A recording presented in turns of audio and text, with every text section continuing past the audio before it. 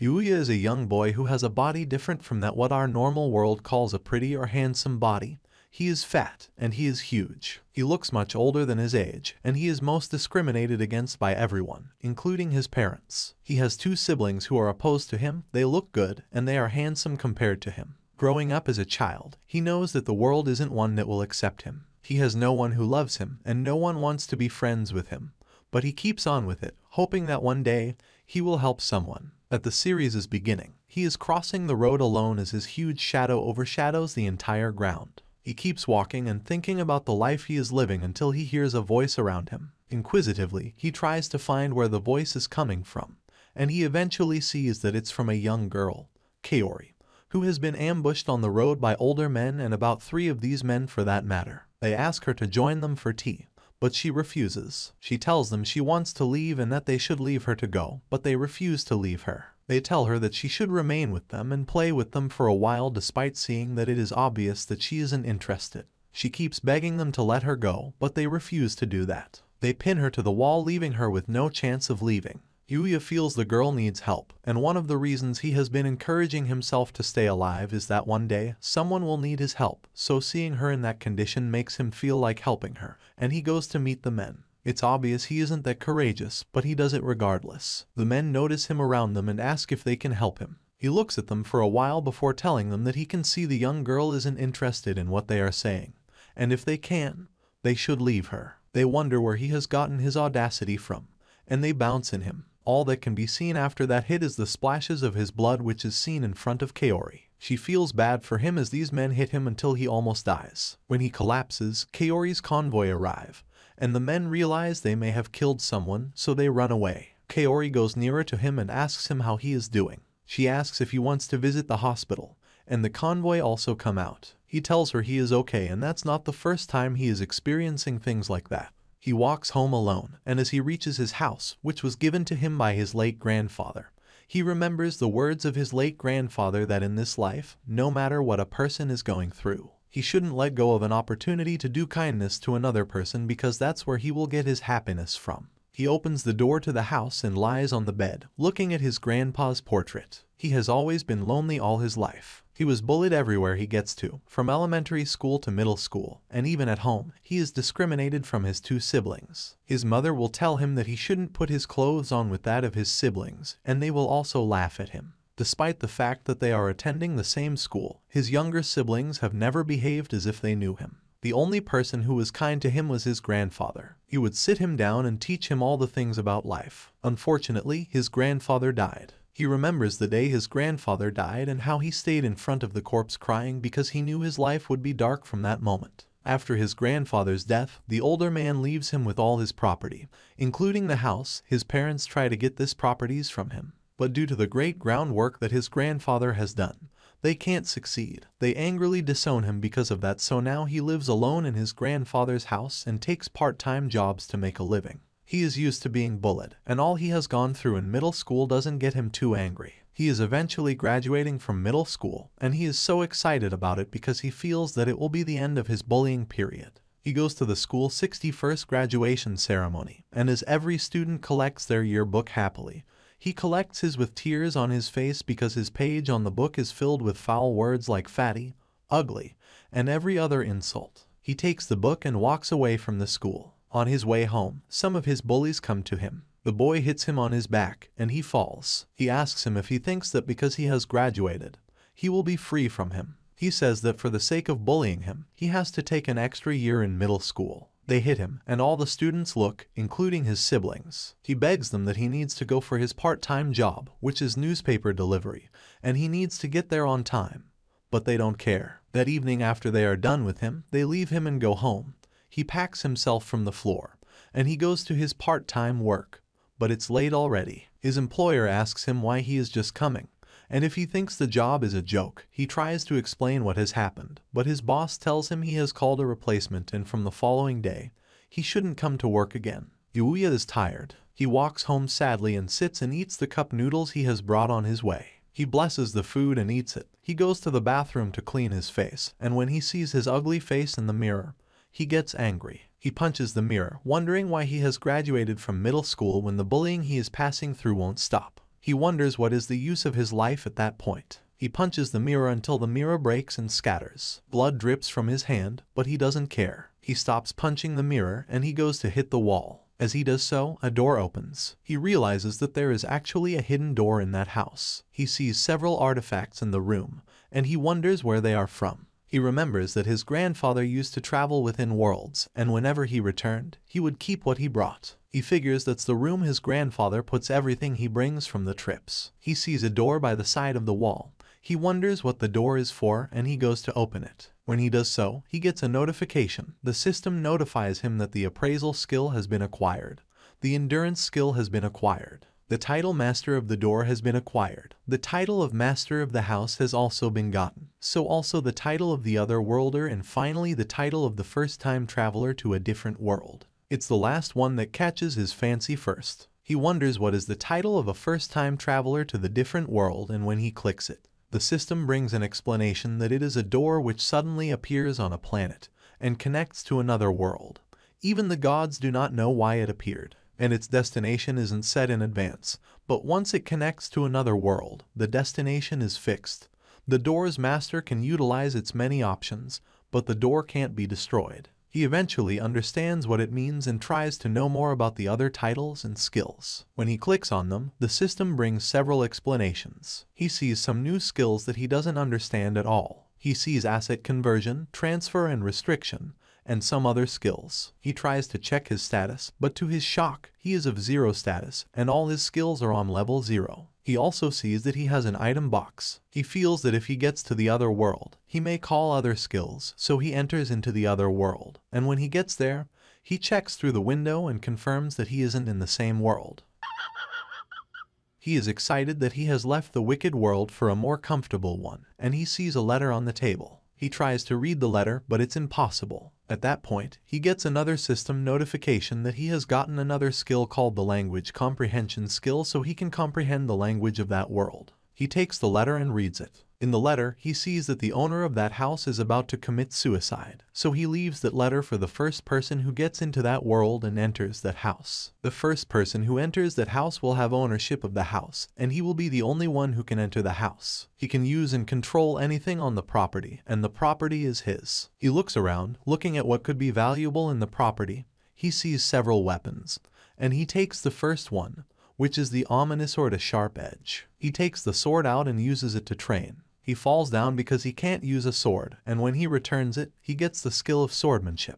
He goes to use the spear, which the system calls the absolute spear. He trains with it and takes the death scythe. He then goes for the infinite gauntlets, and he uses it to train. After training with all the tools in the house, his system tells him to drop the weapon, and he gains the skill called True Martial Art. A very long weapon comes out in replace of the ones he has dropped. He holds it thinking of what to do with it he suddenly sees a bloody ogre in front of the compound. The ogre makes noises and tries to enter, but the fence stops the ogre from entering. He closes his ears but remembers he is the only one with access to that compound, so there is no way the ogre can enter. But the ogre keeps disturbing him with noises. He considers using the weapon in his hand, and he uses it to stab the ogre. The ogre dies immediately, and its remains disappear. After the ogre disappears, several other body parts of the ogre remain. He sees the magic stone bee, the fang of an ogre, the folds of the bloodstain ogre, and also the gauntlet of the bloodstain ogre. He sees that his levels have increased, and he can also add levels up. He checks his notification status for any new thing,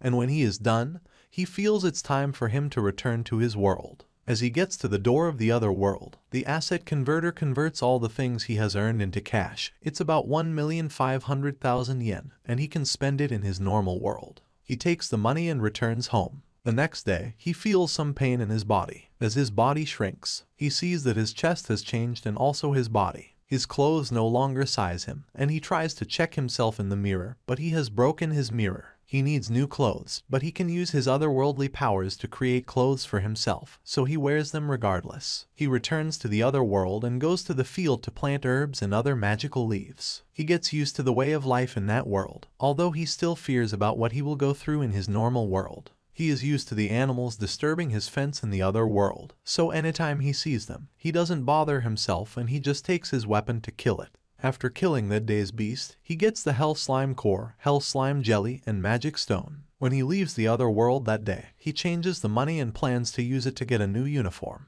He measures for his uniform and sews it. He returns to the other world, where he kills a goblin. He is concerned that school resumes the day after and he will be bullied. He resumes school, and all eyes are on him. He doesn't know how good he looks and why everyone is looking at him. He goes to his class, and his usual bullies come to him. They ask him if he is a transfer student, but he tells them he is Yuya. They refuse to believe he is that pig, and even his siblings are jealous and shocked. He runs to the bathroom to check his face, and when he sees himself, he is shocked too. His new life is that which he isn't used to. He becomes not only the talk of the class and even the talk of the school, but he walks around, and his siblings even get jealous of him. That day, the school receives some strange visitor. A car stops in front of the school, and the driver opens the door for a young girl. The girl turns out to be Kaori, the young girl who Yuya has saved at the beginning of the series. She steps down from the car, and coincidentally, Yuya is also around the car park. She calls his name out, and she asks if he knows her. She tells him that she knows him and he has slimmed down a lot.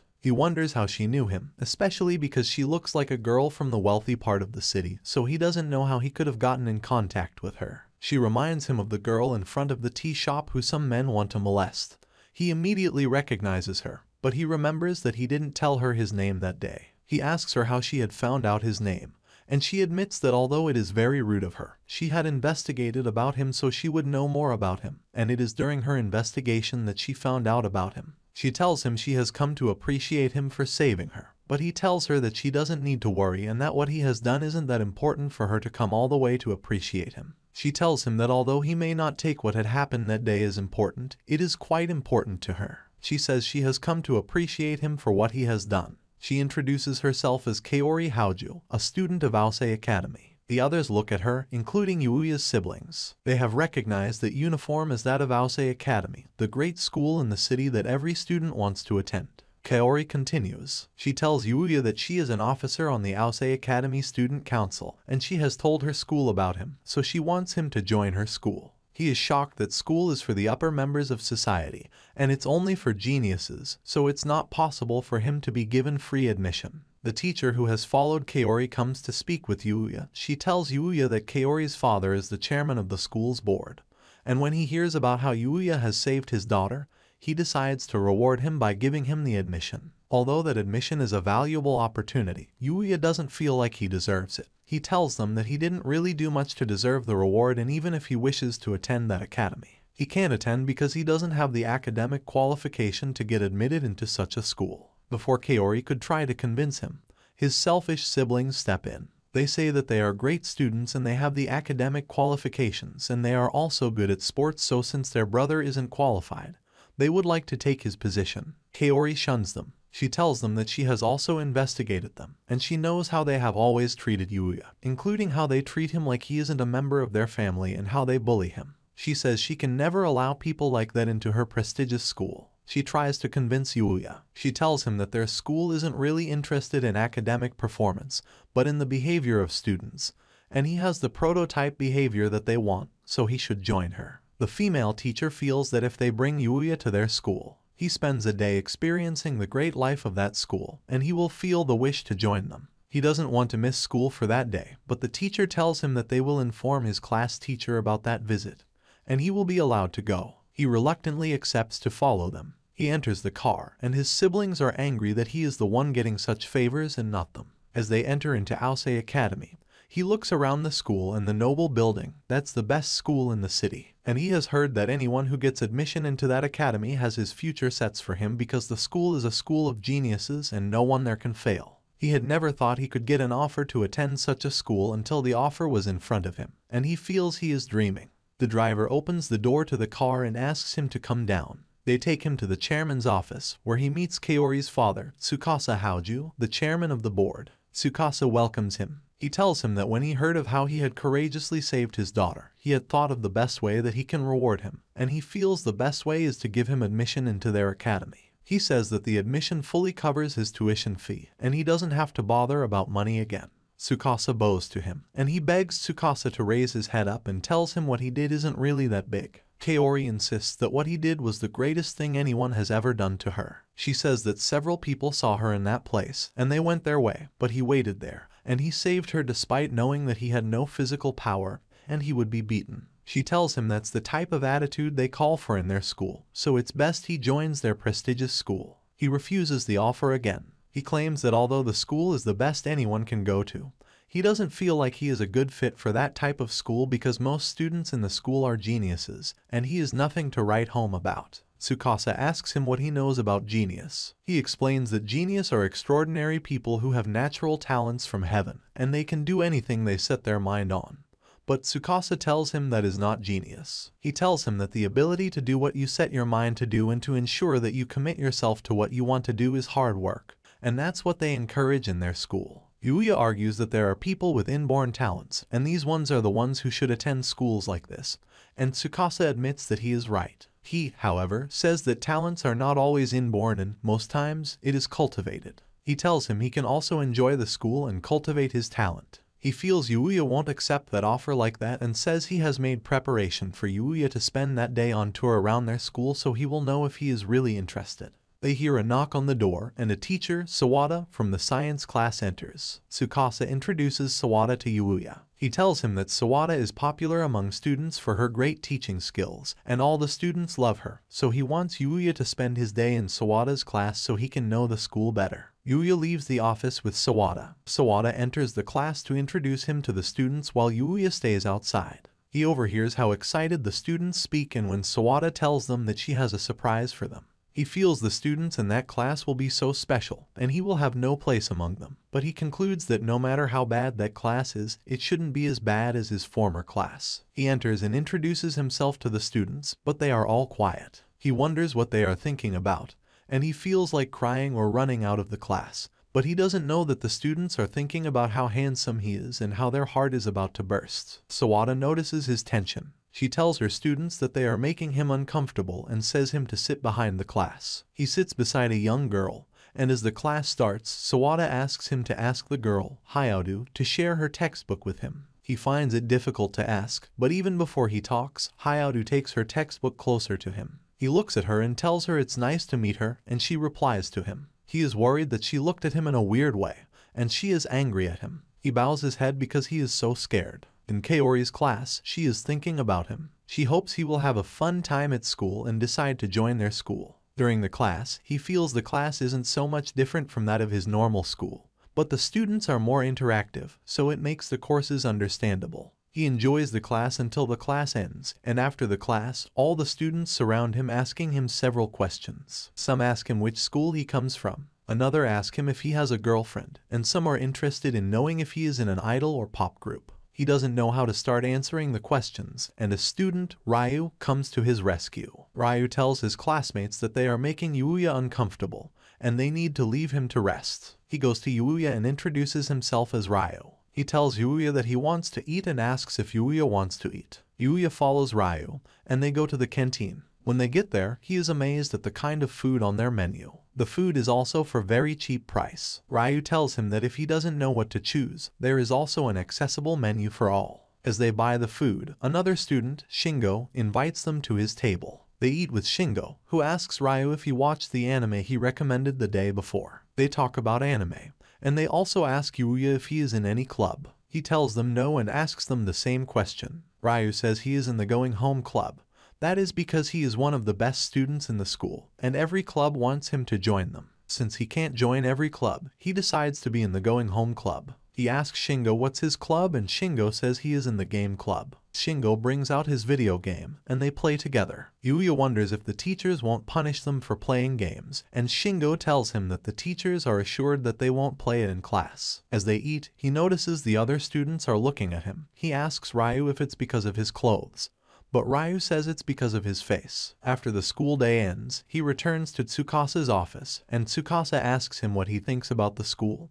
He admits that the school is great, and when Tsukasa asks if he would like to attend the school, he wonders if he is worthy of the school. Tsukasa tells him he should know his worthiness but says he is sure he is worthy. He accepts to remain in that school, and as he comes out of the office, he sees Kaori. He tells her he has accepted to stay, and she asks if he has any schedule after that day. They both go to a marketplace where every student goes to. He asks her if she has been there before, but she tells him that due to her father's position, she finds it difficult to make friends. They take food together, although he is concerned that if he eats too much, he may return to his former shape. They share a bite out of their meals, and they have a fun night. He returns home and decides to go to the other world, especially because he feels if he gets enrolled in the school, he may not have free time again. He gets there, and he sees the beasts outside his fence. He kills the beast but realizes his stats aren't increasing as fast as before. He feels he may find better and bigger beasts to kill outside the fence, so he should fight his fear and go there. He goes outside of the fence, and he sees a goblin killing every other monster. He sees a young girl,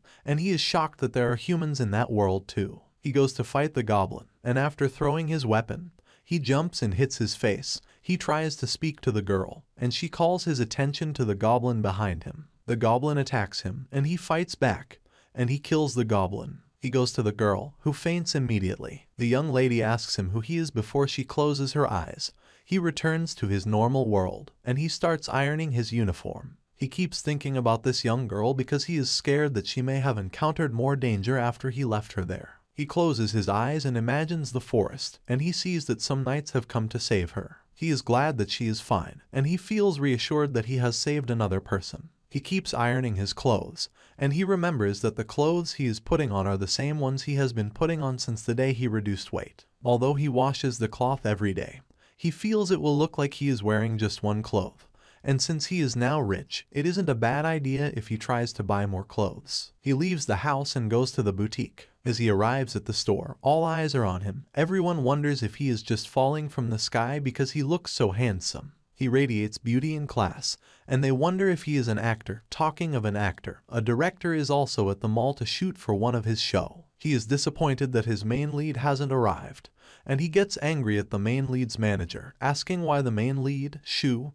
hasn't come. He hits the manager repeatedly, asking when Shu will be around because he doesn't have much time to waste and he can't keep waiting. Shu's manager receives a call, and he assumes that the caller is Shu. After his manager picks up the calls, he tells the director that Shu isn't replying to his texts, and he doesn't know where Shu is, but a person has told him that Shu is on his way. The director gets more angry. He says that he hates casts who are nonchalant about their work and they behave stupidly, and Shu is one. They are shooting a show about a girl who has met her boyfriend in the mall, and they are taking pictures. The female lead, Miu, is already at the mall, but there is no way they can have that shoot without the male lead. He tries to apologize to the female lead for wasting her time, but she is kind, so she isn't worried about all that is happening. She tells him that she is fine. However, everyone in that casting office has other engagements for that day, and they can only have that shoot at that time, and Shu is delaying them. He is so angry at Shu, and Miu also receives a call about the shoot she has after that shoot she is running out of time. So also everyone on that team and they need someone.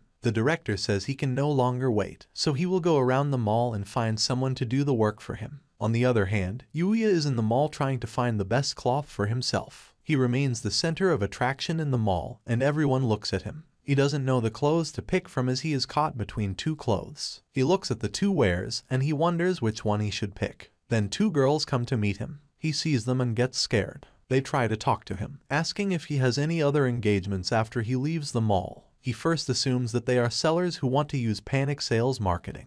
They ask him if there is anything he wants to get at the mall and if they can help him choose. They are interested in being friends with him, but he doesn't feel worthy of it. He wants to reject them, but he also knows that if he leaves them in a horrible way, it will mean he is a bad person, and he will hurt them. He keeps thinking of the best way to reject them without hurting them, and after he thinks for a while, he tells them that he is sorry. He can't follow them because he has another scheduled engagement after he leaves the mall, and the girls are dumbfounded. They stand there as if they are in shock for some minutes. The director and one of his assistants walk around the mall, trying to look for a photogenic person for their shoot. His assistant feels like there is no way they can get such a person at the store, and the manager gets angry and hits him. He puts his head on the clothes and tells him that he must find a person. They have done it before, and they have to do it again. They continue their search. While walking on the stairs, Yuya wonders if he has addressed the girls well and if he hasn't hurt them. The girls are still shocked, and they keep standing. They suddenly regain their composure, and they scream that they have met a god. They claim that after meeting Yuya, they are sure they will live longer. He looks at them and sees that they are okay, so he wants to continue his tour around the mall. As he walks away, the director sees him. The director immediately knows he is the one he has been looking for. The director tails Yuya until he follows him to where he wants to pick his dress. Yuya notices that someone is behind him and he turns. The director speaks to him. Well, Yuya is now having a shot as the lead actor. You may wonder how that has happened. After the director meets Yuya, he tells Yuya that their lead actor has refused to come early and every crew of that shoot has another engagement, so they need an alternative. Yuya feels that since it is just to take pictures, there is no reason why he shouldn't help them. He starts striking poses with Miu for the shoot. The director complains that he is too moody and he isn't laughing. The reason is that he isn't used to shoots like that, and Miu tries to make him comfortable. She tells him it happens like that for every first timer, and she tries to make him feel well. She goes closer to him for the shoots, and she puts her body nearer to him. He finds it uncomfortable to have her chest around him, and they go to the walkway to continue the shoot. He sees how dedicated Miu is to that shoot, and he comments that Miu is an awesome person. He says that they are in the same age bracket, but Miu takes her job very important, so if he has to stay comfortable to ensure Miu gets the perfect shots, he will do so. Miu returns and hugs him for the shoot. She even puts her body more closer to him. Meanwhile, in the other world, the young lady who he has saved turns out to be a princess. She can't forget him, and she keeps thinking about him. She suddenly stands up from her bed that day, and she walks outside the house. The knights ask her where she is going, and she tells them she is returning to the forest to find the man who had saved her. They warn her that the forest is not for a living thing and there is no way the man that has saved her will be there. She says that she knows that and that is why she will find him there so that if she sees him she will save him. She claims that as a member of the royal family, it's her responsibility to save him and repay him for what he has done for her. Her father gets concerned, asking her if she has forgotten what happened to her the last time she went to the forest, but she says that is why she isn't going there alone this time around. She is going with the entire night so they can protect her. They try to convince her to change her mind, but they all know she is quite stubborn, and they ask her where she inherited her wild side from. In the mall, the shoot officially finishes, and the actors rest. He sits beside Miu, and one of the crew brings them drinks so they can rest properly. He drinks it, and Miu looks at him. She tells him that he looks tired and asks if he is tired. He admits that he is actually tired, but he immediately starts sneezing when he looks at her. She smiles at him and brings him a handkerchief asking him to use it to clean his face. He refuses her offer and tries to use his clothes but remembers the clothes aren't his. He tells her that the cloth is quite valuable and he could never expect that he would be putting on that type of cloth. He says he had always looked at actors and models with admiration because he knew he could never get into their category. He never could imagine himself in their world, especially because of the type of life he was living before. He remembers when he was fat too. He tells her he admires her work ethic and how she works efficiently. He asks her why she has decided to be a model, and she explains that it is because she wants to be seen. She tells him that her parents were always busy, so she thought of a job that she could do where everyone will see her, including her parents, and modeling seems to be the best idea. With her few years of working, she has gained several fans despite her not too impressive works, and these fans actually rally around her. They send her letters and gifts and they encourage her, so she decides that if she can encourage them that way, then she is doing a good deed. She hopes that one day there will be someone who will pursue her dream because of her, and she wants to be an inspiration. She admonishes him that he could do the same. He asks her if she thinks he is capable, and she tells him yes. Suddenly, the male actor who should take the role, Shu, arrives. He comes there complaining that he is tired as he had gotten drunk the night before. All the viewers see him and scream because he is quite popular. Yuya asks Miu who he is, and Miu explains who Shu is to Yuya. Shu comes to meet Miu and tells her they should have the stupid shoot and go out together. He pins her to the wall telling her that she saw him the last time and she didn't come to meet him. She is afraid of him, but he tells her she should take alcohol with him. She complains that she is still a minor. Women. But he refuses to hear. Yuya sees that she is uncomfortable, so he goes to tell Shu to stop, but Shu refuses. Shu asks who he is and tries to throw a punch at him, but Yuya falls him. The director comes, and he tells Shu that they have taken a video of his act, and if he does anything, they will post it. Shu leaves there embarrassed as everyone cheers Yuya up. The director asks if Yuya would like to join their agency and work with them, but he refuses the offer because he feels he isn't experienced. The director doesn't want to force him, so he tells him if he changes his mind, he can contact them. He brings several bags of clothes, telling him that he would have loved to pay him, but that won't go well on the agency's account, so he has bought him clothes. Miu also tells him that she wishes to see him again before they depart. On Miu's way home, the director says he wishes to work with Yuya again, but he can't force him. He sees that Miu's face gets red while talking about Yuya and infers she is in love. Yuya returns home and goes to the other world. Meanwhile, in the forest, the princess and her knights are overpowered by the monsters, and they can't retreat. Yuya comes to their rescue. He kills the monsters and also treats the injured knights. The princess comes to him, telling him that she has a request. She tells him that she wants to marry him. After being asked to marry her by Princess Lexia, Yuya is dumbfounded. The captain of the guards, Owen, cautions her, seeking to know what she is trying to do. He wonders what she means by proposing. He asks why she has chosen to express her proposal in the open and in such a loud manner. This is because he thinks a woman of her status and position should not be seen doing such a thing. Even though Yuya has saved them, he claims that they still know nothing about him and have to be cautious about whatever they do. At that point, the ignorant princess blurts out the fact that it was love at first. She asks if falling in love at first sight is a problem. With this question, Owen notices how angry the princess has become. On the other hand, she cautions him to stop nagging and telling her what to do, even though he is her guard. In his defense, Owen states that if she had behaved in a manner appropriate to her royal standing, he wouldn't have to. Meanwhile, while they argue, Yuya tries to inform them that they won't be safe if monsters show up. Furthermore, he offers to let them come to his house for safety. Hearing this, Owen is shocked. He wonders how a person would live in this forest, but Princess Lexia is thrilled at knowing this. Getting to Yuya's house, Owen continues to be surprised that a person would live in the darkest regions. He finds the mere thought of this to be impossible. However, he is shocked to see that it actually is true. Shortly after, Yuya offers them some tea. After that, Owen formally introduces himself, stating that he serves as the captain of the Knights of the Kingdom of Arcelia. Just then, Princess Lexia introduces herself as the first princess of the Kingdom of Arcelia. After that, she thanks him for saving them from the dreadful situation. While Yuya doesn't see it as much of a feat to be thankful for, he is very surprised to find out that she is a princess. To clarify, Owen states it once again, trying to prove to him that Lexia is no ordinary girl. He states that she is second in line to the throne in terms of royal succession. Hearing this, Yuya gets scared since he had been speaking so casually with her. To calm him down, Owen assures him that it isn't an issue since they did not come on an official visit, and most importantly, since he had saved their lives. Just then, he asks for Yuya's name. The latter introduces himself as Yuya Tenju. Hearing the name, Owen ponders upon it. He feels it is an unusual sounding name in the kingdom. Princess Lexia, on the other hand, thinks it could be a name belonging to a noble family. However, Owen thinks that is unlikely, since he could be a mage wandering the world for research. In a shocking thought, Princess Lexia thinks he could be royalty, fantasizing about how beautiful the love between royals would be. This, though, gets Owen frustrated at how badly the princess has fallen in love with this man.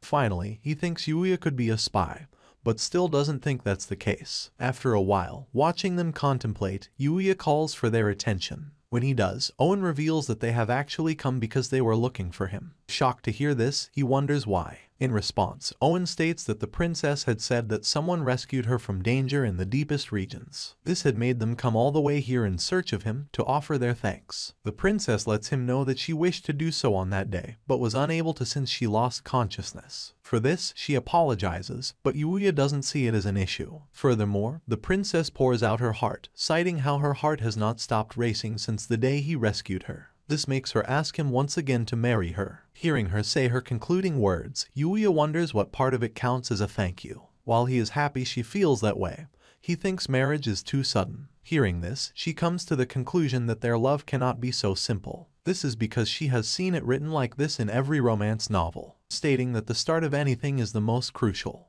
This leads her to suggest that they start off as friends. After a brief moment of contemplation, Yuya accepts to be her friend and they shake at it. Watching them shake hands, Owen assumes that the princess gratitude has been received by Yuya. However, there seems to be another reason why they have come. Princess Lexia's father, the king, asked Yuya to come to the palace in order for him to express his gratitude in person to the one who saved his daughter. Hearing this, Yuya is thrilled. The thought of having an audience with the king is one that had never crossed his mind. While Owen seems to understand how he feels, he reveals that he cannot leave the royal command of the kind unfulfilled and must return to the palace with a reply. With this, he accepts to do it. Meanwhile, going to see the king would take five days of Yuya's time, and Owen pleads with him to prepare. At this moment, Yuya is reminded of Golden Week but stops halfway before revealing his true identity to them. Then, he asks to know if the king can wait a little longer for a time when he would be free to make the trip. In response, Owen reveals that they are obligated to accept his terms since they are the ones making demands. After that, Owen leaves with the princess. While leaving, the princess promises to them all she can to make him her accept her proposal, promising to win his heart when they next meet. Meanwhile, the one who had sent the assassins to the princess is angry that they failed woefully. One of them narrates the encounter, stating that they succeeded in separating the princess from her knights like they had planned. However, they strayed into the darkest region,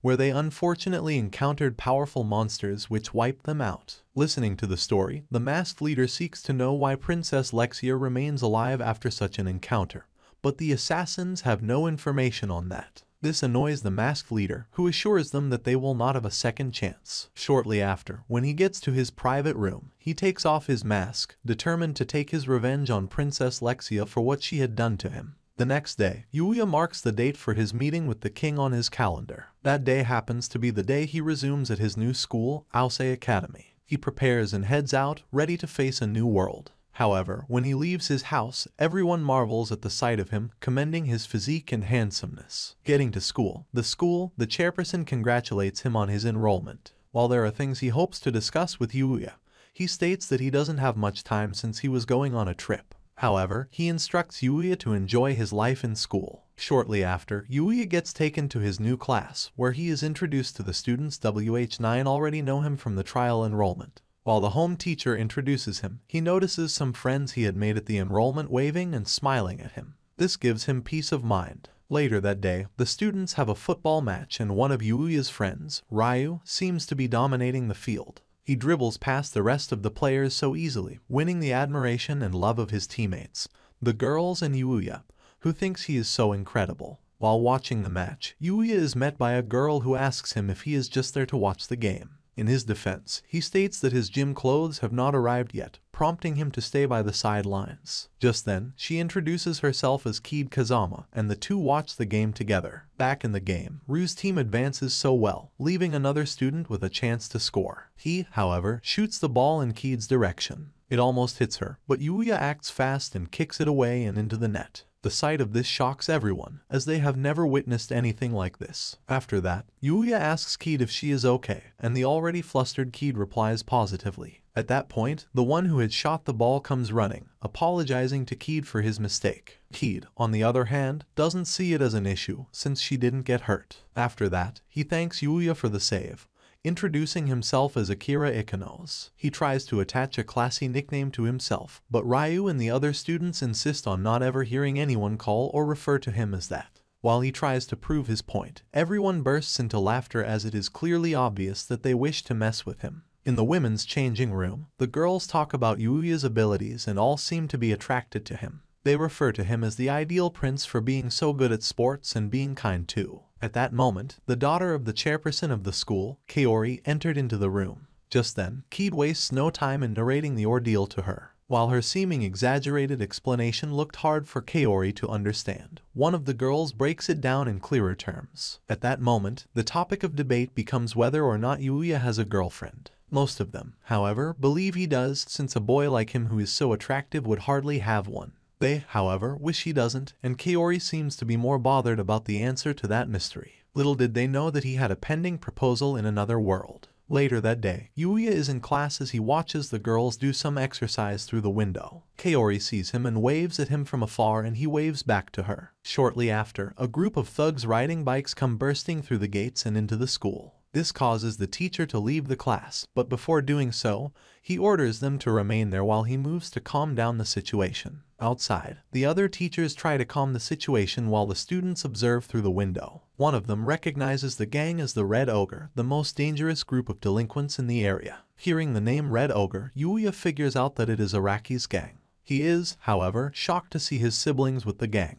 While the thugs continue to drive around, Kaori bravely steps forward, demanding to know what business they have at the school. At that moment, the leader of the gang clarifies her identity as the one they have come to seek. Seeing Yuya's siblings, Kaori immediately recognizes them. They, however, blame her for looking down on them and allowing their idiot brother into the academy. Due to this, they are determined to exact their revenge. In her defense, Kaori threatens to have the police there soon, demanding that they stop this immediately. Hearing this, they let her know that it would be a while before the police arrive, giving them enough time to do what they want, one of which is to abduct her. Immediately, the leader orders his men to grab her. Seeing this, Yuya turns to help her but finds himself feeling scared, which is weird. He ends up losing consciousness but regains it by slapping himself hard. Just then, he exits the class through the window, jumping down four floors and charging towards the leader of the gang. Seeing him, the leader recognizes him and orders his men to deal with him. When they attack, he easily wards them off and goes to save Kaori. In his attempt to do so, he is blocked by a huge member of the gang who thinks it would be easy to defeat Yuya. However, he is shocked to his bones when Yuya easily throws him off his feet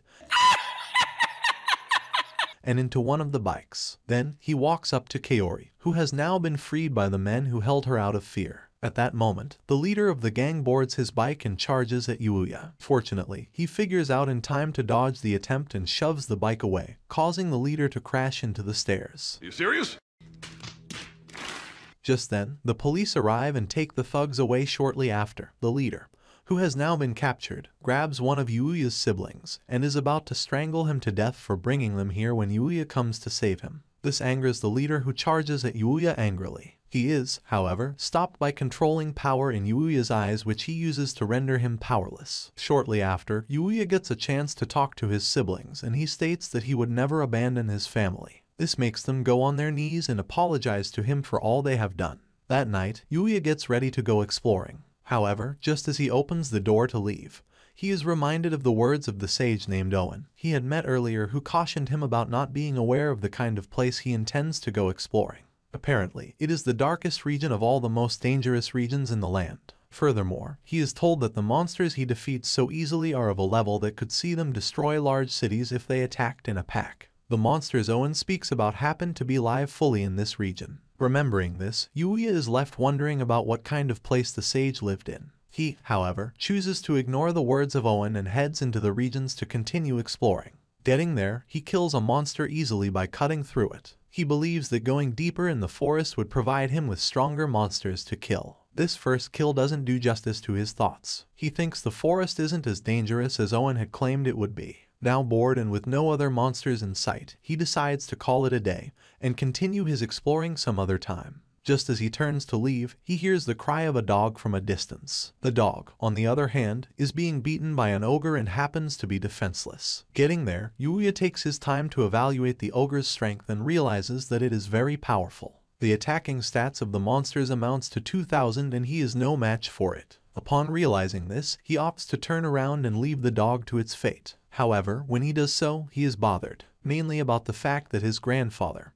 whom he looked up to, would never do such a thing. This makes him decide to help the dog. Immediately, he charges at the monster with his and in fear, hoping to divert its attention at least. Also, ready to face whatever wrath his good heart would incur from the monster. Surprisingly, this was just enough to kill the monster and save the dog. The fact that he screamed loudly and charged aggressively when all he had to do was poke it made him feel embarrassed, although he remembers how he had beaten a bloody ogre a while back when his stats were at 1. Looking closely at his weapon, he wonders who the sage that had made it was, that he could make something so powerful. Leaving that thought aside, he focuses his attention on the now severely injured dog. The dog, at the time sees him as a threat and is ready to charge at him. He, however, brings out a liquid substance that can help it recover and offers it to him. Just as he offers it to the dog, it passes out. Hurriedly, Yuya feeds it to the dog, just in time for it to regain consciousness. When the dog wakes up, he becomes extra friendly with Yuya and even licks his hands. Just then, Yuya seeks to know what happened to its parents and why it is alone.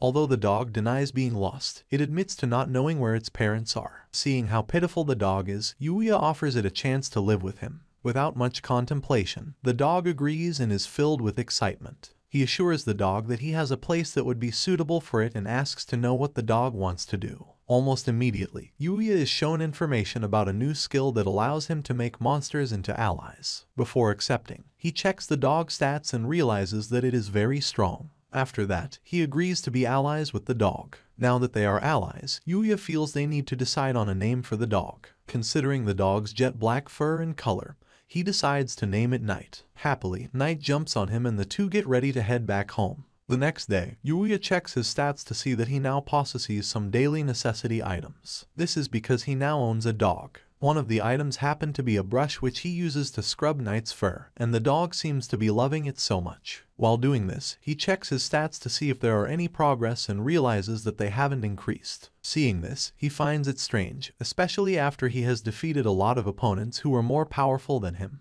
Just then, he realized that assumptions won't solve the mystery of leveling up as he is hopeful that he would figure it put eventually. The next morning, Yuya leaves Knight alone at home and heads to school. There, he informs his friends about his intention to go to a pet shop. At first, they wonder what he seeks there since he isn't known to have a pet. To end their curiosity, he informs them that he had just taken in a dog the day before. Hearing that he has a dog, one of his friends, Keat is thrilled and immediately asks to see a picture of the dog. This she does while she almost has her face in his. In reply, he states that he doesn't have a picture of the dog since he doesn't have a smartphone. Hearing this, one of his friends is shocked that there would anyone in this era that does not have a smartphone. They find the mere thought of it to be inconvenient. In his defense, Yuya thinks he has never felt the need to have one, but promises to consider having one soon. Back to the issue of a pet shop. His friends recommend one close to the shopping district which also has an animal clinic. They urge him to check it out. This he agrees to. However, he asks them to come with him but they each give an excuse, stating that they can't come since they have plans. While the others give excuses, Keat raises her hand and opts to go with him. While she accepts to go, she makes it seem like she is suggesting it. Happily, Yuya asks her to come with him and she agrees, although she assumes that it is a date, but Yuya doesn't hear her clearly. Later that day, Yuya arrives home to a very happy Knight who jumps on him immediately. He informs Knight that things would unfortunately have to continue this way since he would need to go to school. Just then, he reveals the things he had bought from the pet shop, stating that he had got them with the help of a friend. One of the items happened to be a collar which he places on Knight's neck. He informs Knight that he doesn't have to wear it indoors but will only wear it when they go out. After putting it on, he seeks to know if it's tight on the dog but it signals that it isn't. After that, the two decide to go outside for a walk. While walking in the park, everyone admires Yuya for being so handsome and his dog for being so cute. Although the attention they give Yuya and Knight is so glaring, the two remain unaware. Just then, a man passes by and says hello to Yuya. Hearing this, he is surprised that someone would say hello to him for just walking. This makes him realize just how amazing Knight is. Shortly after, he is met by a friend of his named Kaori. When they see each other, they are surprised. Immediately, she asks about who the little dog is, and Yuya introduces Knight to her as a new member of his family. Seeing how cute he is, she bends to pet him and this draws the attention of everyone around once again. They are all made to see a beautiful combination of a handsome boy, a beautiful girl, and a cute puppy. On the other hand, Kaori finds Knight to be very cute. She seeks to know what breed he is but Yuya doesn't seem to know. He states that he had only found the dog and took him in. Kaori is surprised to hear this looking at how happy the dog is with Yuya. For everything she says, Knight makes a sound. This makes her call him smart, stating that it feels like he can understand all that she says. Well, he actually can. While they talk, an old female friend of Yuya calls out his name. Turning around, he sees that it is the fashion model, Miu. Miu's appearance puts Yuya in an awkward situation as he seeks to know why she is there. In reply, she tells him that she lives around the area and takes a walk there around that time. Then, she seeks to know who the lady and the dog he's with are. He introduces Kaori as his friend and Knight as his family member. Seeing Miu, everyone around immediately recognizes her as the fashion model. Miu, on the other hand, wastes no time as she leaves, revealing that she has one more reason to take a walk there often. That reason happens to be Yuya. When she leaves, Kaori asks if Yuya and Miu are together but he denies abruptly, stating that they are just friends. Just as she is about to leave, a woman screams in a distance, announcing that her purse has just been stolen by a pickpocket. Seeing this, Yuya directs Knight to chase after the man while he calms the woman down. Shortly after, Knight approaches them, dragging the man by the collar. After that, Yuya instructs Kaori to call the police. Hearing this, the man immediately springs up, brings out a knife and threatens to stab her. He charges at her with a knife, but is immediately stopped by Yuya who grabs his hand and hits him to the ground. This makes everyone around clap and thrilled about what they had just seen. Later that night, Yuya and Knight continue exploring into the forests. Together, they battle various beasts and use their individual abilities to take care of the monsters they encounter. While advancing deep into the F9 rest, they are met by an ogre, the kind that had beaten Knight earlier. Without wasting much time, Knight charges at the monster and finishes it off without Yuya's help. Going further, they meet a very dangerous magical beast. Seeing it, Yuya hides and tries to analyze the monster's capabilities. While doing so, the monster finds him out and is ready to attack. When he notices this, he has no other choice but to attack. He immediately instructs Knight to have a go at it. Their first attempt at an attack is futile as they realize that the monster has two different forms of magical powers on its horns. Realizing this, Yuya instructs Knight to create a distraction that would give him an opening to attack. Just as he instructed, Knight used his speed to appear at different points in the forest, confusing the monster, and leading it to unleash its power. This gave them the chance they needed to strike a fatal blow, causing the monster to die. Taking a look at what the monster had dropped, Yuya is surprised to see a bath. Checking it out, he realizes that it will be dangerous to have a bath there and decides to take it home with him. At home, Yuya and Knight have a refreshing bath before continuing on their hunt for monsters. Going further, they are met by a very fast monster. Looking at its stats, Yuya realizes that the monster would definitely have a weakness if they hold out for a while. Just as he said, its weakness shows itself, allowing them a chance to strike the monster. Killing this monster significantly increases the stat of both Yuya and Knight. Advancing deep in the forest, the two arrive at a dumping grounded with no living creature. Just then, Yuya's attention is drawn to a book laying on the ground which is called The Book of the Sage. After acquiring the Book of the Sage, Yuya tries to remember who the sage is. Just then, he figures out that the sage is the one who used to own the house in the forest where he lives. In the book, the sage writes about how he was able to do everything, from magic to martial arts and fencing. While this might seem normal for a sage, he also could cook, sing and paint, proving to be a master of everything. This had led him to enter the realm of the gods while still alive. While there, he claims the gods asked him to join them, but he declined their invitation. Through the book, the sage assures Yuya that the strength he possesses is more powerful than he knows. However, he is warned about the fact that this could lead the humans around him to fear him, just as it happened during his time. Furthermore, the sage states that he had felt so alone after achieving all that he did. Due to this he doesn't wish Yuya would take the same path. After reading this, Yuya seeks to know what he can do to make sure he doesn't scare the people around him. Shockingly, he hears the voice of the sage, instructing him to build human relationships which he can trust. Having heard this, Yuya thinks he is imagining things. He continues to read from the book which states that he has to trust those who will stay by his side even when everything is laid bare. Thinking about this, Yuya describes himself as someone who had no friends until recently, so doing this would be difficult. Going further, he is instructed to seek friends at his own pace. To help him, the sage promises to inscribe in the book one thing he wishes to know. After a short contemplation, Yuya says magic. After stating his wish, the voice of the sage is heard once again, revealing that he has just filled the book with everything he knows about magical theory. Of course, we know theories do not really help as much as practical, but Yuya should be able to figure it out right. After thanking the sage for granting his wish, he is told that someone like him who comes from another world does not possess magical pathways. This means he is unable to use magic like the humans of this world who produce magical energy in their hearts. However, since Yuya lacks this ability, the sage offers or bestows his magical pathways upon Yuya. This surprises the hell out of Yuya, who is told that the magical pathway he is about to possess is quite valuable in this world. Instead of seeing them destroyed, the sage hopes Yuya can use them. Furthermore, the sage states that if, in turn, Yuya gets suited for such power and gets to live a life in which he can hold his head high, it is enough. At that moment, he receives the magical pathways of the sage. The weight of the power takes a toll on him, causing him to be slightly unstable. However, when Knight shows concern, he assures his dog that he is fine. Just then, the sage states that he would like Yuya to be happy and not have to experience all that he has gone through. Before leaving, the sage blesses him with happiness and good fortune. For this, Yuya is thankful, as he hopes the sage will find peace. Ready to explore the magic he has just been bestowed with, Yuya comes to realize that magic is the materialization of one's imagination. However, he further realizes that without the magical energy he has just been gifted, magic would have no use. To begin, he is instructed to sense magical energy. To do this, he closes his eyes for a while, hoping to tap into his magical energy. After a while, he feels it flowing with him, Looking closely at himself, he realizes that these must be the magical pathways the sage passed on to him. To be sure, he asks Knight, who confirms it immediately. For the next step, he is instructed to gather magical energy in the palm of his hands and imagine the magic he wishes to invoke. Seeing this, Yuya wonders why there are no incantations. I mean, this is unlike other magic films we've watched where there has to be an incantation before magic can work. Well, this is surely different from the norm.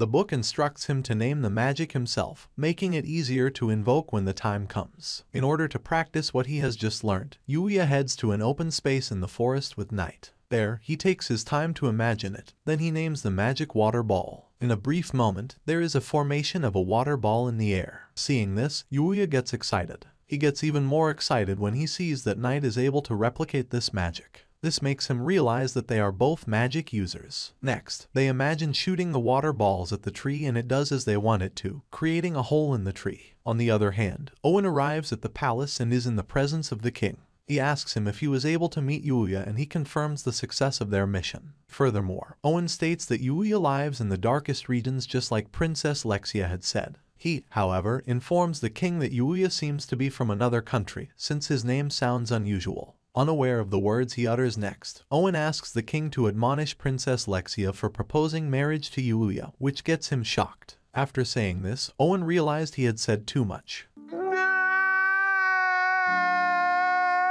As much as he tried to cover up what he said, the king insists that he repeats himself. When he finally does, the king angrily grabs a sword and goes on a rampage. He is angry that a dirty weasel like Yuya would dare to seduce his daughter. While this is going on, Owen, whose big mouth is obviously the cause of this, wonders why everyone in the royal family has to be so troublesome. The next day, at school, while the teacher takes attendance of students in the class, Yuya spends his time remembering the words from the Book of the Sage. There, the sage talks about how all he happens to know is not general knowledge. Instead, Yuya is instructed to consider carefully when to use the things he has learnt from the book. While still contemplating these words, the teacher informs the students about their off-campus studies scheduled for the next week. This happened to be new information to Yuya, who claims to not have received any information about it. One of his classmates breaks it down to him, stating that it meant to make them get used to the new environment and they will be spending two nights together. At that moment, the teacher announces the teams for the off-campus studies. Fortunately, Yuya gets paired with two of his close friends, Keed and Akira. For the fourth member, they get a girl named Rin Kanzaki. Seeing her team members, Keed is optimistic that it will be a very lively team. She looks forward to the off-campus trip. However, Yuya states that he doesn't have a rucksack to use for the trip, although he contemplates using an old wheeled suitcase his grandfather left behind. Not wanting her friend to use such a thing, Keed suggests that they go shopping for a rucksack. After school, they meet up with Kaori, who thanks them for calling her. Seeing Kaori, Shingo is excited about hanging out with her. She, however, states that she hasn't come to hang out but to help Yuya with his shopping, especially since shopping with friends is fun. Hearing Kaori call Yuya her friend makes Ryu envious of him. While they state that she has an unapproachable aura because her father is the chairman, she urges them to be free around her since her father is the important one and not her. This makes them more comfortable around her. However, looking around, Yuya realizes that Akira is missing. Shingo delivers his apology for missing the shopping since he had plans. Getting to the store, Kaori helps Yuya with picking up a very good bag. This makes the others impressed at how good she is at this. Carrying the bag, Yuya likes it. He thanks Kaori for making such a choice for him.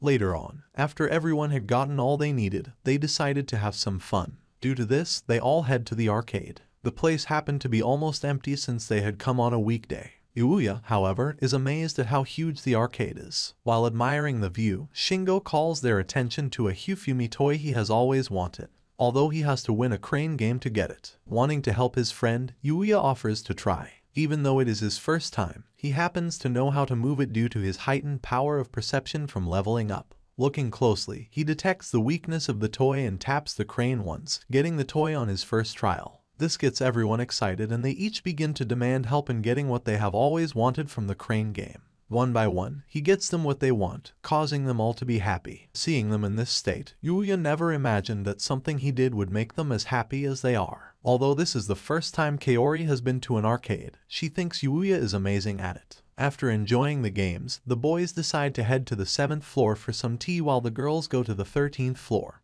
which has the girls' fashion store. Meanwhile, at the moment when the two separate, a wire happens to be cut and starts to spark somewhere in the building.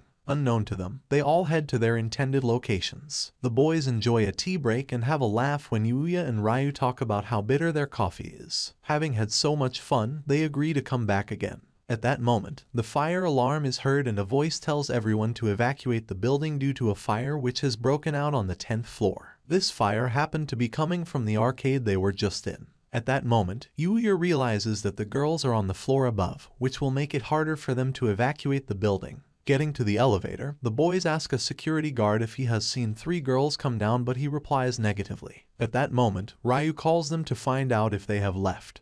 But Keed tells him that they can't get out in time and are still on the 13th floor. Without wasting much time, Yuya runs past him up the stairs. He orders Ryu and Shingo to escape while he charges desperately towards the 13th floor. He is determined to protect the smiles of his friends which he had seen earlier today, keen on saving them no matter what. Getting to the source of the fire, he makes use of his magic and covers himself in water and air. Then, he runs through the fire and eventually gets to the 13th floor where the girls lie unconscious. Kaori happens to be slightly conscious and hears him call out his name just before passing out. Seeing the girls, he carries three of them, extends his protective water magic to them, while looking for an available exit. With no other option, he breaks through the ground, heading straight for the ground floor. When he gets down, he is relieved to find out that they are all fine. The girls seem okay as they receive treatment and Kaori's father thanks Yuya for saving her. He, however, finds this to be awkward. Furthermore, he finds it hard to explain how he had saved them, but is glad he did. Later that day, when he gets home, Knight runs up to him excitedly. Seeing the only family he has, he gets ready to prepare a feast for dinner, and Knight seems extra excited about this. Yuya returns to his house in the alternative world, and he tries to read about magic. He reads that magic is the manifestation of one's imagination. But before magic can be manifested, there is a need for the person to have magical energy, which is the root of all magical skills. The book continues and says that when there is magical energy, there is no magic a person can't use or perform. He realizes that for him to use the teleportation skill, he needs first to imagine where he is going to. Since magic is the manifestation of imagination, if he can imagine his destination, he will get there. He prepares with his pet knight, and he imagines a part of the forest that he wants to get to. After thinking about it, he immediately gets there. He is shocked that he could eventually try it successfully, and he is also excited that with that skill, he will be able to get to wherever he wants to get to as fast as possible and even runs back home very fast. He recalls that the only way he could get to that forest is because he imagined the forest, which means he can't go to anywhere he is unable to imagine. And it also means he can't visit a place he doesn't know. Irrespective of that, he is excited. He asks Knight if Knight is also excited, and the dog gives a happy gesture. He brags tonight that with that magic, he can come to the house very early and even prepare his food timely even though he is in the other world because he can now teleport. They eventually settle inside the mountain, and they set out to start their adventure. Yuya brings out his magic light, and he uses it to light the forests. They keep walking inside the cave until they eventually encounter a monster. When they sight the monsters, they set out to fight, and within split seconds, they both defeat the two monsters. He is excited because of his much himself, and Knight has grown, and he comments that they now complement each other better, and they are a good team. They put their hunting rewards into their magic bag, and they continue their exploration. At the end of the day, they gather together all that they had gotten from that day, and their outputs are so plenty. He applauses Knight for his great work and keeps the items. He tells Knight that it is about time that they return back home so he can go to his home too, but Knight gives a sad gesture. He notices that Knight doesn't want to stop the exploration yet, but he has no choice. He explains to Knight that they have no choice and it isn't the case that he also doesn't want to keep exploring the forest with him but he has to return home early so he can prepare for the trip that he has at school. He begs Knight to please understand things from his point of view, but Knight runs towards the mountain. He wonders why Knight is behaving in such a way. He screams behind the pet and chases him. He calls him back, but Knight refuses to stop until he reaches the mountain. Yuya goes to meet him there and asks him what he is doing. Knight frowns at Yuya and looks at him in an annoying manner. Fortunately, Yuya understands their means of conversation, so he asks Knight if he wants him to conceal his appearance, and Knight nods in response. Yuya immediately conceals his appearance and watches. He sees a young girl injured by the tree, and a pack of elite goblins is around her to attack her. Yuya immediately removes his concealment and attempts to save the girl, but Knight drags him back by his shirt. He asks Knight if he shouldn't go, and Knight says yes, he remains with Knight as they watch the confrontation. The head of the elite pack attempts to hit the girl, but she dodges and attacks back. Suddenly, she tries to escape, but they find her and they hit her to the wall. Yuya wonders how that has happened. He confirms from Knight if they can now interfere, and Knight nods affirmatively. The young girl has been injured, and she has fainted. Yuya goes there with Knight and they attack the pack of goblins. After they finish, he attempts to carry the girl, but he notices there are eyes around him. He uses his skills to check around and sees that there are several other goblins there. In fact, they are in high quantity, and there is no way he can defeat them by just fighting, so he decides to use a new skill. He brings out a whip from his weapon box, and he uses it to wipe off all his enemies at once. He doesn't know the whip is that good, it is the Divine Whip, and it is a whip that gains another tail each time it swings and which always hits his targets. Once it is wrapped around its target, pressure is applied to rip the target to pieces. He returns the whip, and he carries the girl. He feels he has been able to wipe off almost all the monsters in that part of the city, if not all,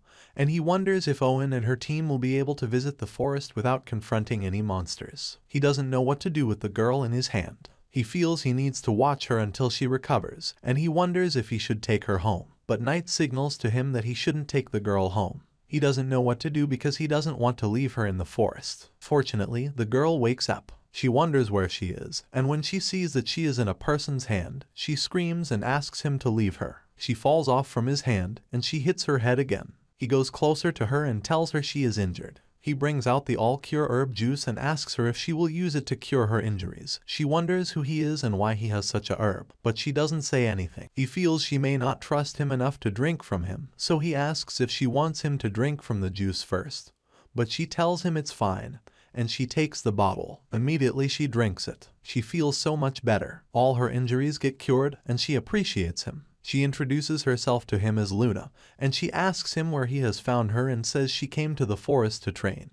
But she encountered a pack of elite goblins. She claims she has tried to run away from them, and she got exhausted in the process, which is why she fainted. He tells her it is all good, and when she asks where the goblins are, he tells her he has killed them. He introduces her to Knight and tells her Knight is his partner. He tells her his name, and since they are done, he feels the need to go. She wonders what he is also doing in that part of the forest, so he tells her he is also there to train. She feels there is no way a person can come to that forest to train, but since that is the same lie she had told him, she couldn't counter him. She appreciates him for saving her and tells him they had the same purpose. She asks if he is the one that carried her and says she is dirty and she must have stained his clothes. She tells him she is too dirty and there is no way she can return to the city like that. So he asks her if she will like to have her bath. He creates a bath for her and she enters the bath. He asks her if she enjoys the bath, and she tells him it's the best thing she has ever seen. She asks where he has gotten such a bath from, and he tells her he got it from Crystal Deer. She feels it's a nice thing that he is carrying it along. She tries to tell him that she actually had a purpose for coming to the forest and she had come there at a customer's request and not to train.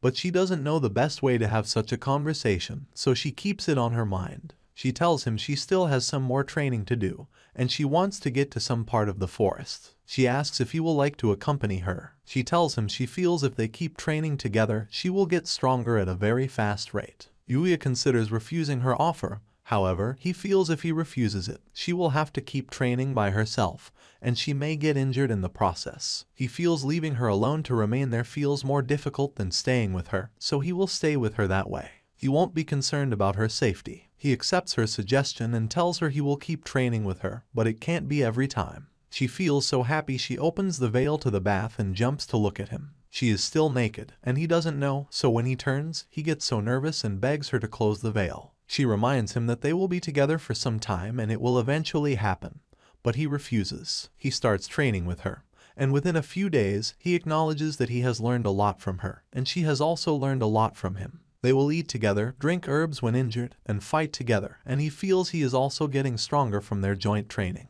During one of their training, Knight gets another title called Goblin Eater. One day as they train, they encounter some goblins, and after he hits the goblin for the first time, he throws it at Luna, who attacks it with her string blade and throws it to Knight, who eats it. After killing the goblin, he goes to meet her. He tells her she is now very good, and the way she is, she can confront an elite goblin on her own. She refuses to be flattered. She claims they win because of him and Knight, but he tells her the string blades on her hands are very sharp. And they were so sharp the day he met her too, so she is strong. She wishes to continue training with him, but he tells her that from the following day, he won't be available for their training. She feels sad and asks him why so he tells her he is going for an off-campus study trip at school. She accepts to let him go, and they decide to enjoy their last day together and have a nice bath. After the day's adventure, Yuya goes to have his bath. He wonders why Luna has allowed him to have his bath first. And she enters the bath telling him it's because she wants to have her bath with him. He begs her to allow him to go out, and he attempts to leave, but she hugs him from behind. She tells him the time she has spent with him is one of her best days and she has never thought she would have so much beautiful time. She appreciates him for what he has done for her and says she wants to repay his favor by washing his back. When she finishes, he turns and he screams. She wonders what has happened to him and he tells her the towel has come off her body. She screams and he closes his eyes. The following day, Yuya takes the school bus and follows his classmates for the off-campus study trip. On the bus, they play card games, and he wins all his colleagues consecutively. One of them says he is quite lucky. He feels tired, so he goes to rest. Before sleeping, he wonders if the reason for his good luck is because his luck stat is full, and wonders if seeing Luna naked was also a luck. They arrive at the off-campus building, and it's marvelous. The teacher brings them inside, and she tells them how the trip will go. She narrates that it's two days and one night trip, and they are to source their food by fishing and to pick edible vegetables and mushrooms. The students are concerned that they may eat poison, so their teacher tells them they must show the teacher the food before eating, and in case they eat poison, their school doctor is there to cure them. The school doctor comes with a herb that the students assume will be poison because she has a weird way of performing her medicine. The students are excited that they will be sleeping in that mansion. But their teacher tells them the mansion is for teachers, and the students are to group in a group of four and camp outside. In Yuya's group, they divide themselves into two. The first set goes for mushrooms and vegetables, while Yuya and Kid are to go for fish. When they get to the river, the other students are there. Yuya finds a shallow part of the river with fish and goes there. He remembers Luna's words about how strategic monsters are. He uses her advice to pick the fishes, and he gets so much. He remembers her and appreciates her advice. On the other hand, Luna destroys some masks with her strings. She remembers Yuya and admits he is a good person. But she is a trained assassin and a member of the dark guild called Headhunter, so she has to say goodbye to him. Yuya returns from the sea with Kid, and they meet Rin. Rin asks them how their adventure was, and if it wasn't too stressful, and while Yuya tells her that he struggled to catch some fish, Kid tells her they didn't have any struggle because Yuya single-handedly caught all the fish in the river with his hand.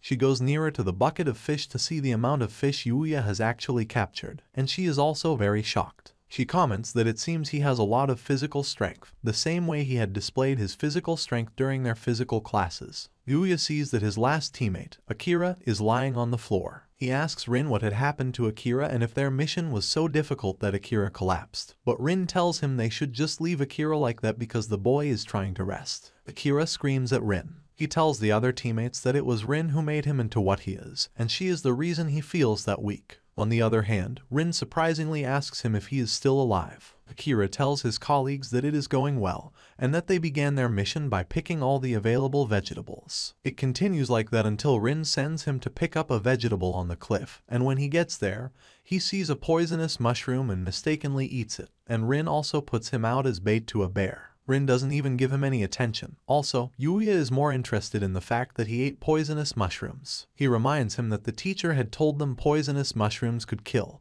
and asks Akira if he is doing well. Akira sarcastically tells them he will be fine if all his teammates are doing well. Yuya isn't interested in that excuse. He immediately goes to meet Akira and tries to touch him. He asks Akira if he is doing well, and he uses his magical eyes to see if there is something internally wrong with Akira. His system shows him that Akira is fine. He is relaxed, and he tells Akira to ensure he doesn't put himself in danger again and should also rest. Akira is shocked that someone cares so much about him. He screams Yuya's name and tries to hug him. The girls also determine that during the field test, they will do their best. The team meet at their tent, and Yuya asks Rin what she has gotten with Akira. They go to the table of vegetables, and Yuya is shocked that his teammates have gotten that many vegetables. He commends their work, and while Akira and Rin argue as to who did the best work during the field mission, Yuya uses his eyes to check the vegetables and also their names so he will know which one is edible and which is poisonous. After checking through, he removes the poisonous vegetables, and he is indifferent about the black truffle and Japanese yam because he doesn't know about them. He decides they will ask the teachers if the vegetables are poisonous or not. He asks his colleagues who will cook the food,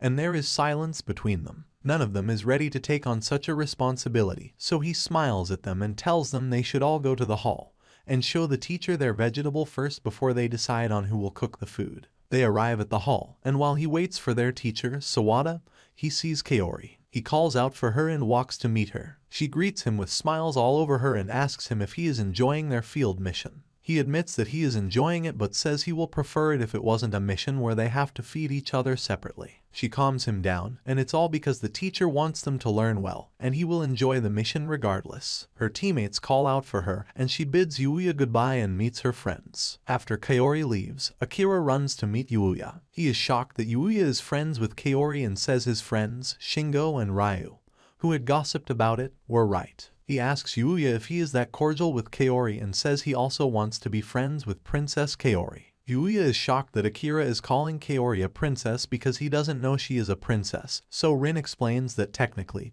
Kaori is the daughter of their school's chairman, which means she is a princess in their school. Her cheerful smile and beautiful and friendly personality are other reasons people call her princess. Eventually, their teacher, Sawada, arrives, she checks all their vegetables, and she is happy with them. She tells them that not only are they the ones who had brought the highest vegetables, but they are also the only team with no poisonous vegetables. She is glad that with their great work, she will surely get a bonus at school. She tells them they have increased her chances of getting a bonus, but they can't stop there because their cooking will also be graded. She begs them to ensure that they cook the food very nicely. She asks who will cook, and all the other members point to Yuya. He reluctantly accepts the responsibility, and when they tell Sawada he is the one cooking, Sawada hugs him. She begs him that he should put all his efforts into ensuring the food is well made because her bonus is at stake. He gets pissed at her selfish intention and begs her that she should at least pretend as if she cares about them and not her bonus. But she doesn't care. The team return to their tent to cook. Yuya starts with the cutting of fish before he preps the vegetable.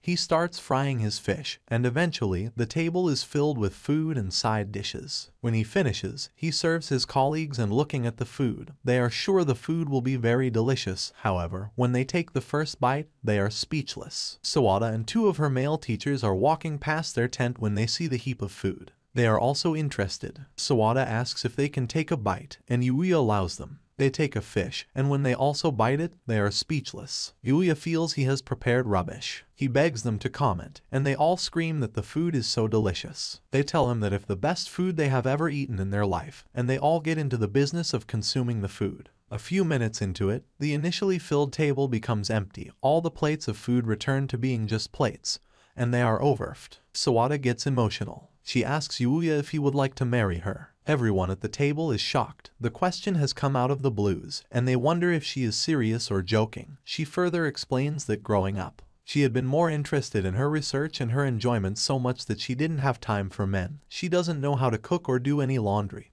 and she is also tired of being single. She says the reason she had come for that field trip is that she wants a bonus, but she doesn't know that she will meet the best cook who cooks more than any other person she has met there. She asks Yuya again if he would like to marry her. At this point, everyone there protests. The teacher reminds Sawada that it will not look well if she wants to marry her student, and Keed even tells her that there are several reasons she can't marry Yuya, and she won't allow the union. Yuya wonders if the reason everyone is against the union is because he is a very bad person. He eventually speaks up. He tells Sawada that her request came out of the blue. He comments that she is his teacher, and he won't deny that she is a good teacher. Before he finishes his statement, Sawada jumps at him and puts his head on her chest. Everyone begs her to release him, and he also struggles to breathe. He eventually raises his hand like someone almost dying, so Rin tells Sawada that Yuya is seeing heaven. Eventually, Sawada releases Yuya, who says that he is already seeing the heavens in reality. After the long day, Yuya returns to the other world to meet Night. He greets his pet, although he tells him he will leave soon to join his colleagues. He immediately starts preparing Night's dinner. After he finishes the preparation, he sees Night enjoys the food. He comments that he likes to make people happy, and he feels really happy whenever Keed, Sawada, Night, and the other people enjoy the food he has made for them. Time is far spent, and he needs to return to the field trip to have his bath so he leaves the other world. He joins his colleagues in the bathroom, and he notices all the students are looking at his chest. He asks Akira why everyone is staring at him, and Akira asks him if he can't see that he is built differently. He asks him why he is in the Going Home Club when his body is this awesome and claims he should be in clubs where he can use such bodies. Akira says it's cheating that he has such an awesome body while he has nothing. Kaori also arrives with her friends, and Rin calls Kaori to see how big Keed's chest is. Kaori and the other students get jealous. Rin teases Keed that her chest isn't as big as teacher Sawada's own, and they reveal to the others that after eating Yuya's fold, Sawada asks Yuya to marry her. Keed says if Yuya likes chest, she will also like to put his head on her own, causing Kaori to ask her if she is in love with Yuya. But she denies it and says no, although the fact is obvious to everyone. They return to their tents to sleep. That night, a bear appears at their tent and takes away almost all their vegetables. The next morning when the students wake up, they notice their tent has been ransacked. They wonder what it could be, especially since their personal items weren't affected. They decide to return to the forest and find breakfast, although Akira feels reluctant about going. He stands there, almost crying, but he can't tell his friends why. He reluctantly follows them, and in the forest, he notices some signs and watches. Yuya notices he is indifferent and goes to meet him. Yuya also notices the signs, but before they warn the girls, the bear has gotten nearer to them. They immediately start running outside the forest as the bear chases them. The teachers instructs them that they should find a barrier, and they run towards Sawada, who pushes them towards the barrier. As she runs after them, she falls, and the bear walks towards her. Yuya turns and sees Sawada in danger. He runs there and holds the bear. He fights the bear and weakens the bear. As the bear lies cold, Sawada goes to appreciate him for saving her. She says as his teacher, she should get angry at him for risking his life, but since he saved her, she will let it go. She asks him what he wants in return and if he wants her. He refuses the offer, so she says she will keep trying. They wonder what they should do to the bear, and Kaori makes some calls to the authority, and they decide to make the bear their school's guard bear. The field trip ends, and they return home. Yuya returns to the other world, and that is the same day he is meeting with the king. He goes to the forest to welcome Princess Lexia and her guards, and on his way, he sees some monsters. He assumes they are going to approach Lexia, so he fights them. After fighting the head, he gets a helmet in return. He wears the helmet to welcome Lexia and her guards. When they arrive, they ask him to enter the carriage so they can take him to the king, and he is about to tell them about his companion, Knight. Before he talks, Knight runs to Lexia and falls her, thereby almost causing an accident. Yuya cuts the tree that could have fallen on them, and he realizes that someone had targeted Lexia and Knight saved her. He goes into the forest to find the assassin. He attacks the assassin and finds out it is Luna. He is shocked. Lexia asks him if he knows Luna, so he confesses to her and begs her that he should take Luna home and take care of her because he doesn't think she is a bad person. Lexia accepts the idea and also asks to follow him. Yuya takes Luna home, and Lexia stays on the bed looking at the innocent-looking assassin. Yuya comes to meet her, and she tells him she feels Yuya has a very intimate relationship with Luna, and it makes her understand his idea of friendship and what friendship really means to him. Yuya denies having such special feelings for Luna, although he admits that they are friends and they knew each other some weeks ago. Lexia remembers that they were once in the darkest part of the forest, and suddenly they found themselves at home. She feels concerned about that and asks Yuya what magic he used to bring them home from the darkest region of the forest. Yuya tells her it is teleportation magic. He says that he had created a teleportation link from the forest to his house so he can find it easy to travel from the forest back home. Lexia immediately jumps to meet him. She asks him if he doesn't know that teleportation magic is a great magic that barely exists in their world. It is known as legendary magic, and it is only read about in fantasy. Yuya doesn't know that the magic skill is that important. He tells Lexia that he didn't know, and Lexia informs him that the magic he used like a minor thing is enough to cause war between countries. She informs him that the magic is so powerful that if people know he has the power, it could cause war and lead to destruction. She warns him that he shouldn't use it in front of any other person. Yuya accepts her advice, and she turns to Luna, asking her how long she will pretend to be asleep and if she will wake up now. It turns out Luna was actually pretending to be asleep. Luna stands up and asks her how she knew she was pretending. Lexia laughs at her and tells her it is obvious to everyone that she is pretending, and even Yuya knows she is pretending. He only kept quiet and watched her because he wanted her to wake voluntarily. She admits that Yuya is a good friend and he really wants to protect her. She tells Luna that now that she is awake, she should tell them the story of how she got to the point of attempting to kill the princess. Luna refuses to talk. She tells Lexia there is no difference talking will make, and if Lexia wants to kill her, Lexia should kill her immediately because talking wouldn't change anything.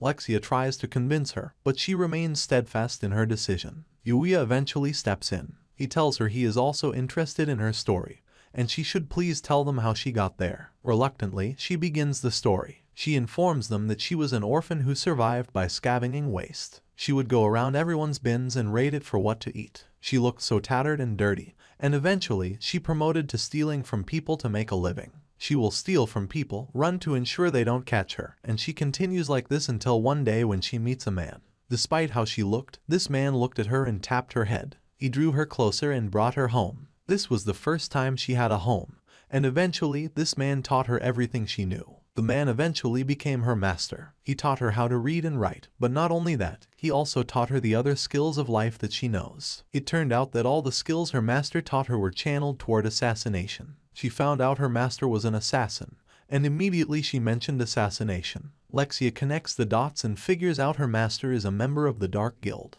Yuya isn't familiar with that world, so he doesn't know what the Dark Guild is, so Lexia explains to him that the Dark Guild is a secret organization that deals with all the evil thing that can be done. When you think of evil, you think of the Dark Guild. They murder, kidnap, steal, and other criminal activity. Luna continues her story. She tells them that she learned every skill of assassination from her master, and she eventually joined the Dark Guild. Upon joining them, she took on missions to survive, and she succeeded on several missions. She had never failed a mission, and as time went on, she became known as the notorious assassin, Headhunter. Lexia says she knows the name. She claims she had heard the name severally, and reports had been made to the king about the assassin. Luna says one day, just as usual, she got a mission to kill the princess of Arcelia, Lexia, which is the reason she had come to that part of the forest in the first place. Yuya is shocked to hear all these. He asks Knight if Knight knew who Luna was the first day they met her, and Knight nods in affirmation. Luna tells them that she is done with the story,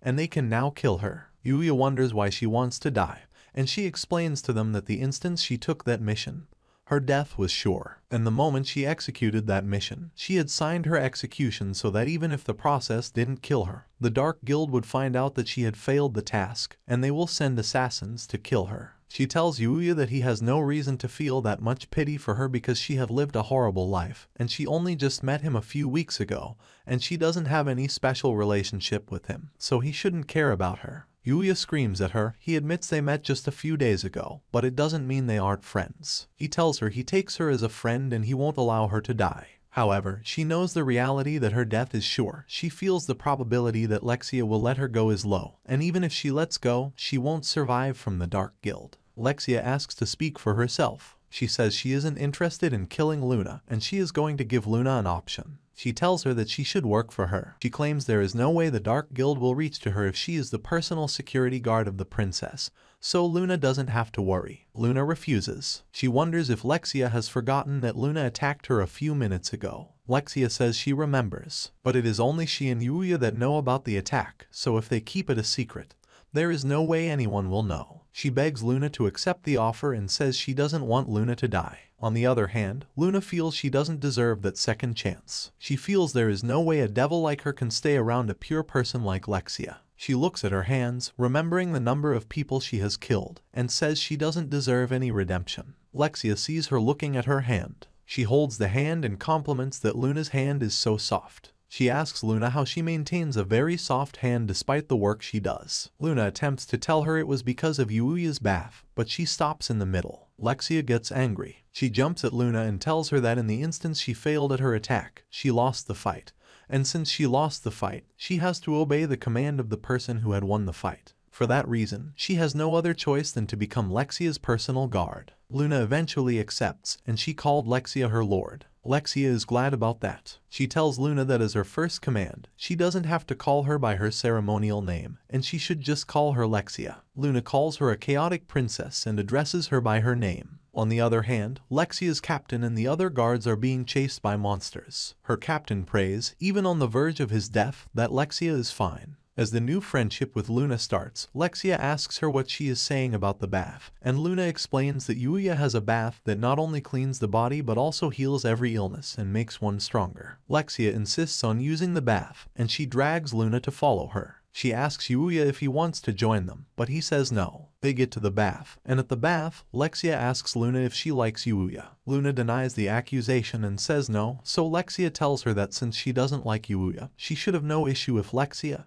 and Yuya marries. Luna screams she can't think of such a possibility, and Lexia accuses her saying that if she doesn't like Yuya, there is no reason why she is bothered about who Yuya marries. Reluctantly, Luna admits that she admires Yuya as a fight mate and partner, but she doesn't know if she feels anything more than that for Yuya. Lexia sees that statement as a possibility of having feelings for Yuya, so she tells Luna that she is declaring war between them. Luna doesn't understand what she means by war, and Lexia tells her that she is going to marry Yuya. Luna refuses to allow that, so she accepts the war. Eventually, Lexia declares that she will now take Luna as her rival and her guard. They return home to Yuya, who offers to cook their dinner, trying to compete for Yuya's heart. Lexia tells Yuya that she will like to cook the food, and he allows her. She takes the onion and attempts to cut it, but all her attempts prove abortive. The onion keeps falling off, and at a point, the knife falls from her hand and almost hits Yuya and Luna. Yuya asks to cook the food, he prepares the meal,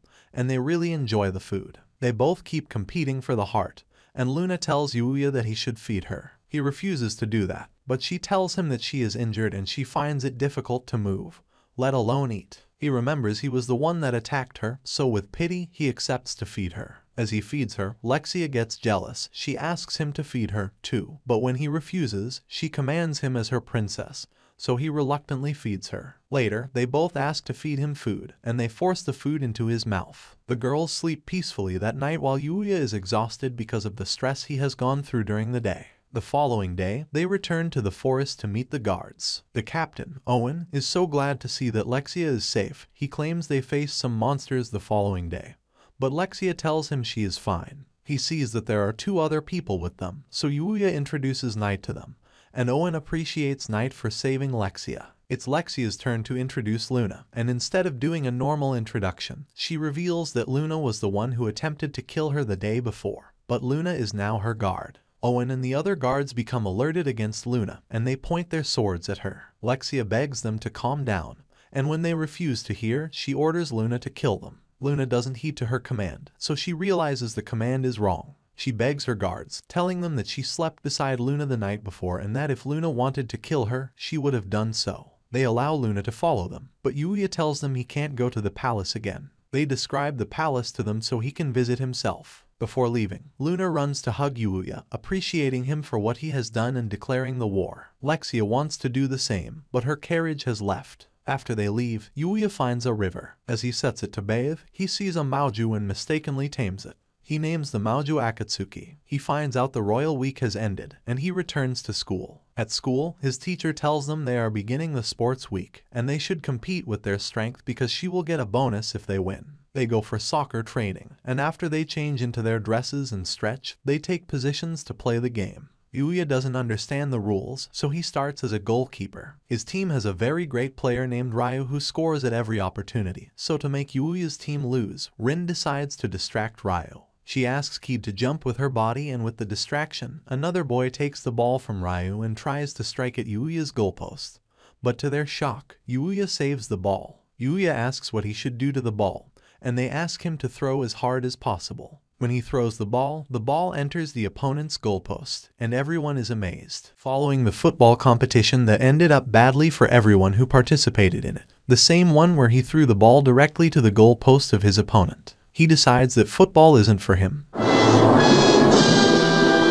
While that isn't far-fetched as it is obvious to people who are blind that he is terrible at it so he decides to go for ping pong game for the school soccer competition. Oh my god!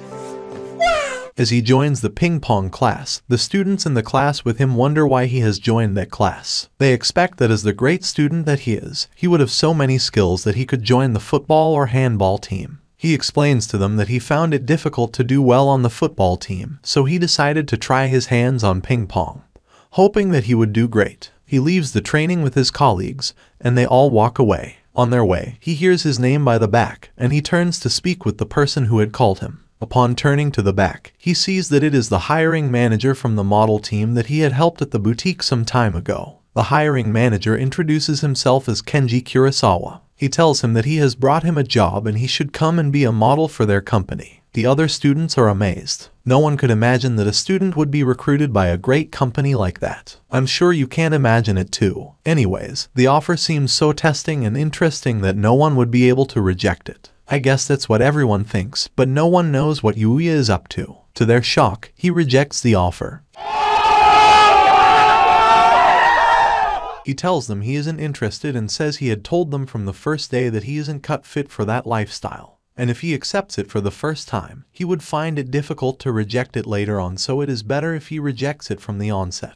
The other students around him find what's happening unbelievable. It seems to be a fallacy that a student will reject an opportunity to be a star, an opportunity to sit with the big men and women in the entertainment agency, and become so popular. Several thoughts pass through the mind of those students. Some of them wonder if he had been in touch with the agency before, and the other students wonder what could have made him so special that the agency had to come to the school in search of him. Their questions can't find answers, and it even becomes so worse when they see the manager of the agency get angry at Kenji Kurosawa because he finds it difficult to convince Yuya. He reminds Kenji Kurosawa that he had promised he was going to come there and sweet-talk the boy into joining their agency, and until that happens, he isn't going to leave that place. He holds Kenji Kurosawa by his neck, telling him how much he is important to their company. At this point, I wonder if it is compulsory for Yuya to be featured in their weekly magazine. Miu, who is in the car listening to the conversation, gets uncomfortable with how it is going. She comes out of the car and she brings out the episode of the magazine she had made with Yuya and shows the students. Miu is such a popular model, so her appearance doesn't need further introduction. The students are thrown off their feet. They all exclaim in joy, wondering how a well-known celebrity found her way into their school. Miu goes to meet her manager, telling him that the best way to convince Yuya isn't by making him feel inferior or forced and that they can do better. The manager reminds her that the reason he had brought her was so she could convince him that she should do the work she has come to do. Although they all know it is a futile attempt, she goes to talk to him. Before she gets to him, one of the school's student representatives walks beside them, and a flyer she holds falls off. The flyer falls directly on Yuya, and he picks it up. When he does so, the manager sees it as a flower about the school's sports competition. He asks the students what the competition is about, and when he gets the full information, his brain clicks on another special edition magazine. He decides that he will bring his team to video the competition, and that way they will get another special magazine with Yuya without having to beg him and make him join their agency. They will be using one stone to kill two birds, and he immediately drags Kenji Kurosawa so they can meet with the school principal and make the plan. After that stressful school day, Yuya goes back to the other world. That's the only place he gets the peace he wants and lives the perfect life, and as usual, he goes to the forest to fight monsters. He attacks the first monster he finds, and he really finds it difficult to defeat the monster. He struggles with it with his pets, and eventually, he scatters the skull of the monster in the air. He sits with his pets and robs their body while considering that he is not as strong as he wishes to be. He admits that he is stronger than he was, but he feels he is still weak and he needs to train better. However, he also feels it is going to be impossible for him to increase that greatly if he is going to keep training on his own, and he doesn't have anyone to train with him. In a bid to get better, he tells his pets that they should go inside the forest. He enters a path of the forest that he hasn't gotten before, and when he gets there, he feels a very scary atmosphere. He notices some very hard trees, so he uses his magic to find out what the trees are, and he sees that they are called the hard black trees. While he is amazed at how strong the trees are and how he hasn't seen such trees before, he gets distracted. Akatsuki notices that there is a terrifying monster behind them. Wait a minute! Who are you? He tries to call his attention to it, but he couldn't get his attention. The monster attacks them, and when he tries to defend himself, he falls off. His pets try to come to his rescue, but he also knows how strong that monster is. He knows if he allows his pets to go to his rescue, it will be their death. He screams at them and tells them to run away. He uses his magic to check the monster and he sees that it is a mithril boar. Have you ever been in a situation where you know you are confronted by something much more stronger than him? That is exactly the situation he is in presently. He could feel the terror of the monster he was fighting against, and the only thing on his mind was not how he will survive, but how his pets will survive. He decides to keep defending himself until his pets run off. Suddenly, he hears a voice deep inside the forest, and the voice says he will help him. In that situation that he is, that has to be the most reassuring thing he could have wanted. But he is also scared that he doesn't know where the voice is coming from. Suddenly, something kicks the boar and it falls. The creature comes out from inside the forest, and he sees the voice speaking to him as that of a rabbit. The boar regains his strength and tries to fight back, but the rabbit says, disappear, and the boar dies. There is a sense of gratitude in his mind, but he also feels fear. Who is this rabbit? Why can the rabbit talk? These are all the questions that are in his mind. He sees that the rabbit is a kick rabbit, and the rabbit says he wants them to show him their kick. Akatsuki goes to show his kick first, but the rabbit says the kick is without hope. Knight goes next, and the rabbit says although his kick has hope, it is also weak. He goes last. The rabbit comments that he is stronger than the other two, but he has to prove his strength. The rabbit shows them his kick. As he kicks the hard trees, the trees fall off in succession.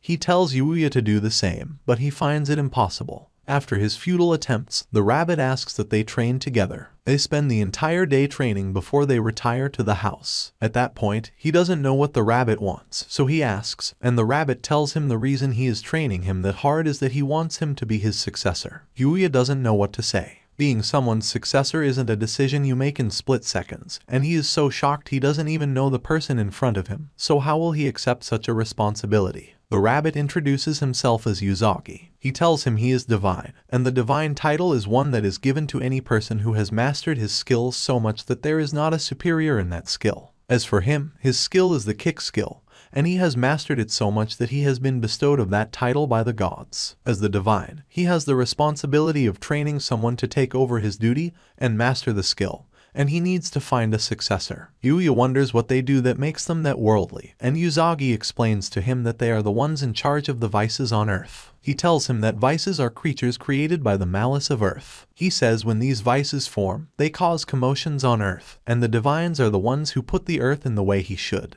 Yuya wonders if it is compulsory for him to take the position. Although Yuzagi tells him it is not compulsory, he also tells him that the world is filled with vices and there is a need for warriors. Yuya concludes that although he wishes to reject it, he has people he wants to protect in that world. And if becoming a divine will makes that possible, then he doesn't have a choice. He accepts, and Yuzagi also asks that he teaches him magic. They go for the first training, where he is asked to fight the king boar as revenge for what the former boar did to him. He fights, and he wins. After the fight ends, Yuzagi tells him that there are also two classes ahead of King Boar, which are the SSS and X. He suddenly starts feeling weird. He sees he has gotten an evolution, and he wonders if it wouldn't affect his usual self since he has the ball competition the following day at school. The following day, the school sets for the competition. The manager comes with his directors, and he tells them that they must capture all that Yuya does. He plays the ping pong competition against an opponent who doesn't seem to be a student of their school. The opponent is very violent, and he hits the ball with great velocity. He wins the game after much stress, and he gives up. As he tries to rest, Kita calls him and says that one of the students in her volleyball game got injured. She drags him to join her team, and despite that, the way he serves is too hard. He wins the game although he injures the students and he also destroys the environment. Well, a win is a win. As he tries to rest, he sees Kaori disturbed. He goes to where she is playing tennis and sees one of her players is injured. He joins her to play the game. The injured students tells him that their opponent is so strong and he should watch out for her serve. The boy had been injured after one of the serves hit his face, and his face was swollen. He joins the fight, and he immediately figures her opponent is quite strong.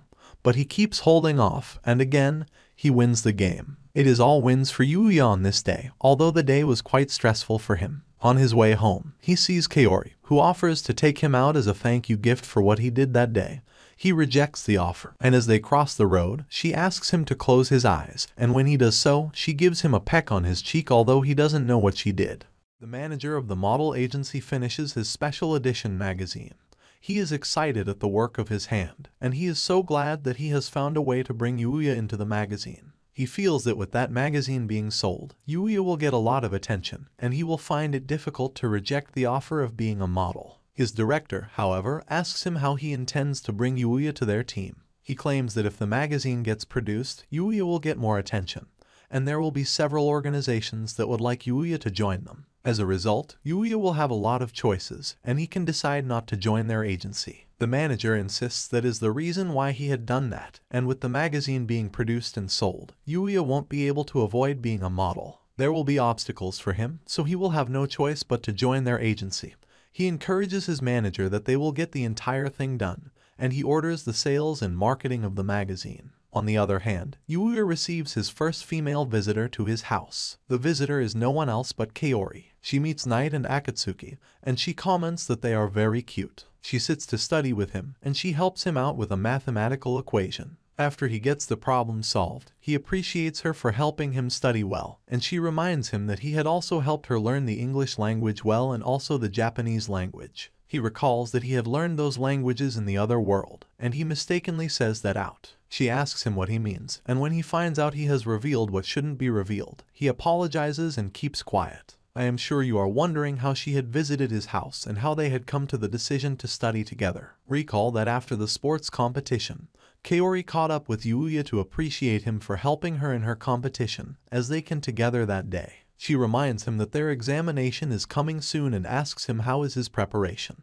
Immediately she asks that question, and his mood and countenance change. She asks him what is wrong with him, and he confides in her that he has issues with mathematics and can't seem to understand it at all, so he doesn't know how he will pass. She smiles at him, telling him she doesn't know that a person who is good at everything like him can be bad at something. She says mathematics is simple, and she asks if she can bring up a suggestion. Yes, she asks him if it is possible for them to have revisions together in his house and study together. Since he most likely needs her help in mathematics, he accepts to study with her and invites her home. That's how they had gotten to the stage where they are. As they study, she tells him she feels pressed and she will like to urinate. He describes the restroom to her, but he doesn't follow her there. As she enters, he wonders if he is doing good because that is the first time he has had a female visitor in his house. When she tries to go to the toilet, she finds her way towards the door to the other world. As she is about to enter subconsciously, Yuya comes there. I am sure his mind has traveled into several places before he asks her what she is doing there, as that is not the way to the toilet that he had described to her. She admits that she knows that is not the way, but in the process of going to the toilet, she claims something from that room called her nearer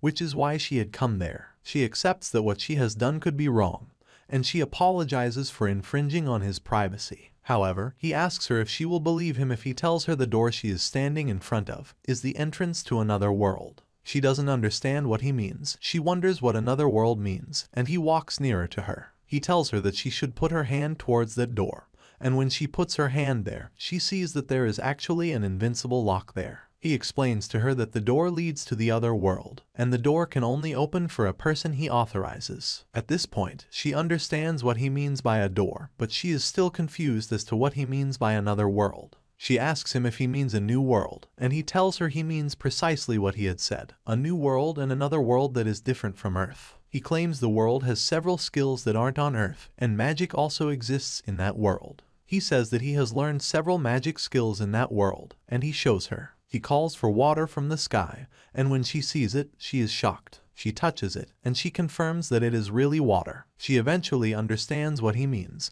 and he asks her if she wants to follow him to the other world. She accepts, and they enter together. When they arrive at his compound in the other world, she is so shocked. She asks him if that is indeed a new world that is different from Earth, and he tells her, yes, she checks the fruits and the vegetables in that world, and she admits that it is really different from the ones she knows. He tells her that is the world he met Knight and Akatsuki. He explains to her that Knight is from the little Fenrir species, a species that is just like wolves, while he doesn't know which species Akatsuki is from. He claims he has found out that Akatsuki is from the Monju species, but he doesn't know what the Monju species means. He asks her if she knows what the Monju species means, and she admits she doesn't know that species. He suggests that it could be the same as the pig species, but when he says it, he sees that Akatsuki gets angry at him, so they both assume they are wrong. Night comes to show Akatsuki a prey, and they both leave to catch it, leaving the two young ones alone. Kaori sees a system opening in front of her and asks Yuya what it is. He tells her it is called stats in that world.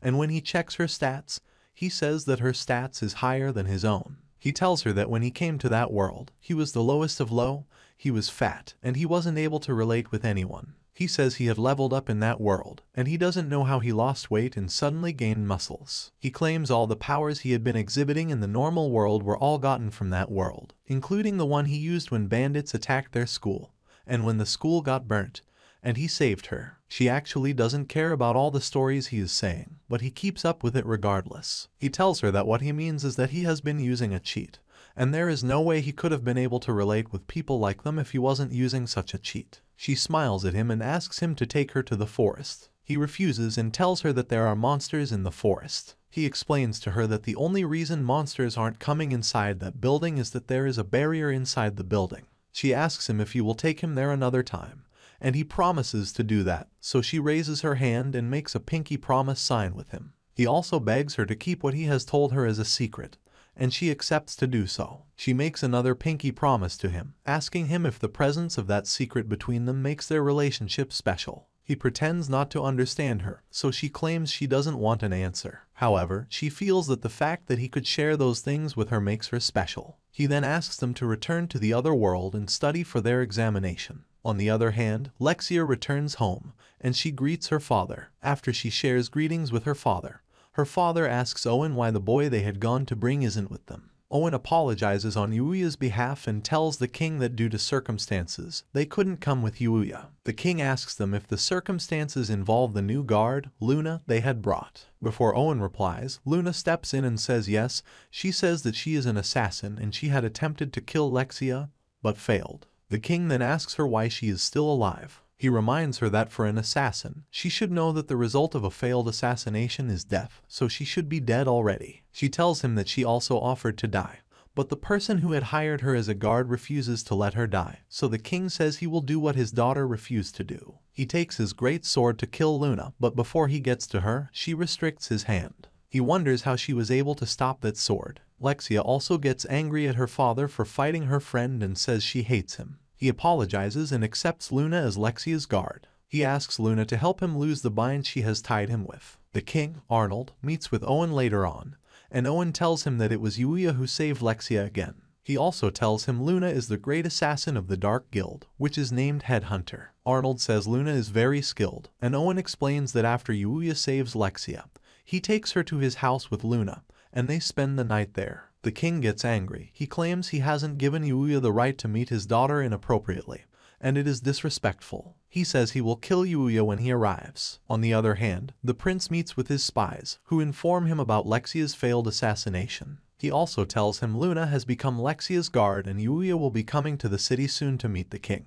The prince assumes that although he will become the king, it isn't a bad idea if he becomes the king earlier or faster than he should. He tells the assassin that he will give him his secret, which is his magic barrier portion. He asks that they will release the portion so no one will be able to use magic, and after that, they shall fight and kill Arnold, Lexia, Luna, and Owen since they are the only ones who can use swords. The assassin reminds him that if things go south, he will be killed, so he claims he wants to use that opportunity because there is someone he can lay the blame on. He asks that they shift the blame on Yuuya after the king is killed. Yuuya gets a holiday from school after the sports festival. He decides to use the opportunity to visit the king and Lexia. On his way, he kills some sheep, and he gets the sheep's fur, horn, and also beddings created from the sheep's body. He starts traveling, and when he gets to the first village, he is excited at everything he sees. He sees creatures with tails and recalls he doesn't have money to spend in that city, so he goes to sell products in exchange for money. When he enters the store, the merchant accuses him of being noble.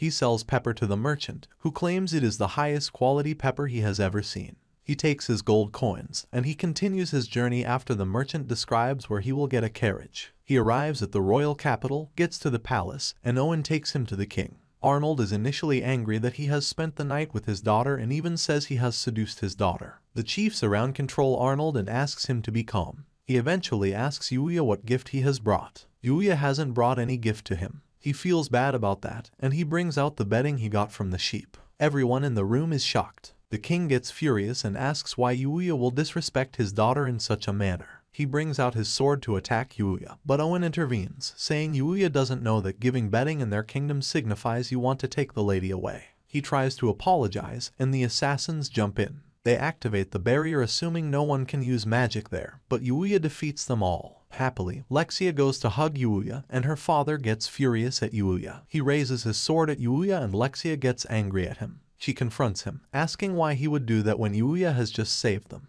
In his defense, he claims he has no other choice seeing how she hugged Yuuya. As they argue, Owen, who is tying the assassins, finds a sum of money and a crest in the assassin's pocket. He shows the king that the crest belongs to Ryger, Lexia's brother. Owen immediately goes to Yuya, asking him to lend them his skills because their kingdom is in trouble. Just as Yuya and the king exchanged glances because of the way Alexia had hugged Yuya after Yuya had defeated the assassins, Owen calls their attention to a badge that he had found on the body of one of the assassins sent to kill the king and Lexia. The badge turns out to be that of Prince Ryger, who has sent the assassins. Following that, Owen realizes that the kingdom is in danger, and if the prince could send assassins to kill his sister and father, they need a better power to tackle that rebellion. He immediately goes to meet the only person who he thinks has the power to help them, and he begs for Yuya's help. Later that day, Yuya stands in front of the door as he overhears the guards gossiping about what had happened earlier that day. The guards say that the king had entered his chambers unhappily that day after he heard what had happened and no one really knows what could be the result of what had happened. Yuya recalls that Owen had told him earlier that they needed him to protect Lexia because it may not be easy for them to do that on their own. And they also needed him to curb the rebellion that had started in their city. He accepted to stay with them in the palace to protect Lexia, and he tries to visit Lexia in her room. He first itches his hair, thinking of what to do as he stands in front of Lexia's room. Just as he summons the courage to open the door, Lexia coincidentally opens the door too. With his hands still high in the sky, she looks at him without asking him what he had come to visit her for. She tells him she knows he is new to their city and it is very important for him to check out his new environment. She offers to take him out to the city so he can have a better view of their city. The reason she wants to do that isn't far-fetched. First, she is bored of staying in that room alone and she also wants to have a private time with Yuya. Although Yuya could have happily accepted her offer because he is also excited to be in that new world, but before he could accept or reject the offer, Luna walks to meet them. Luna reminds Lexia that they aren't in a time of pleasure and she should remember that she is a target of assassins. She insists that Lexia shouldn't go anywhere and Lexia should remain in her room where they can be sure she is safe. Lexia admits that they are really in a scary time. She,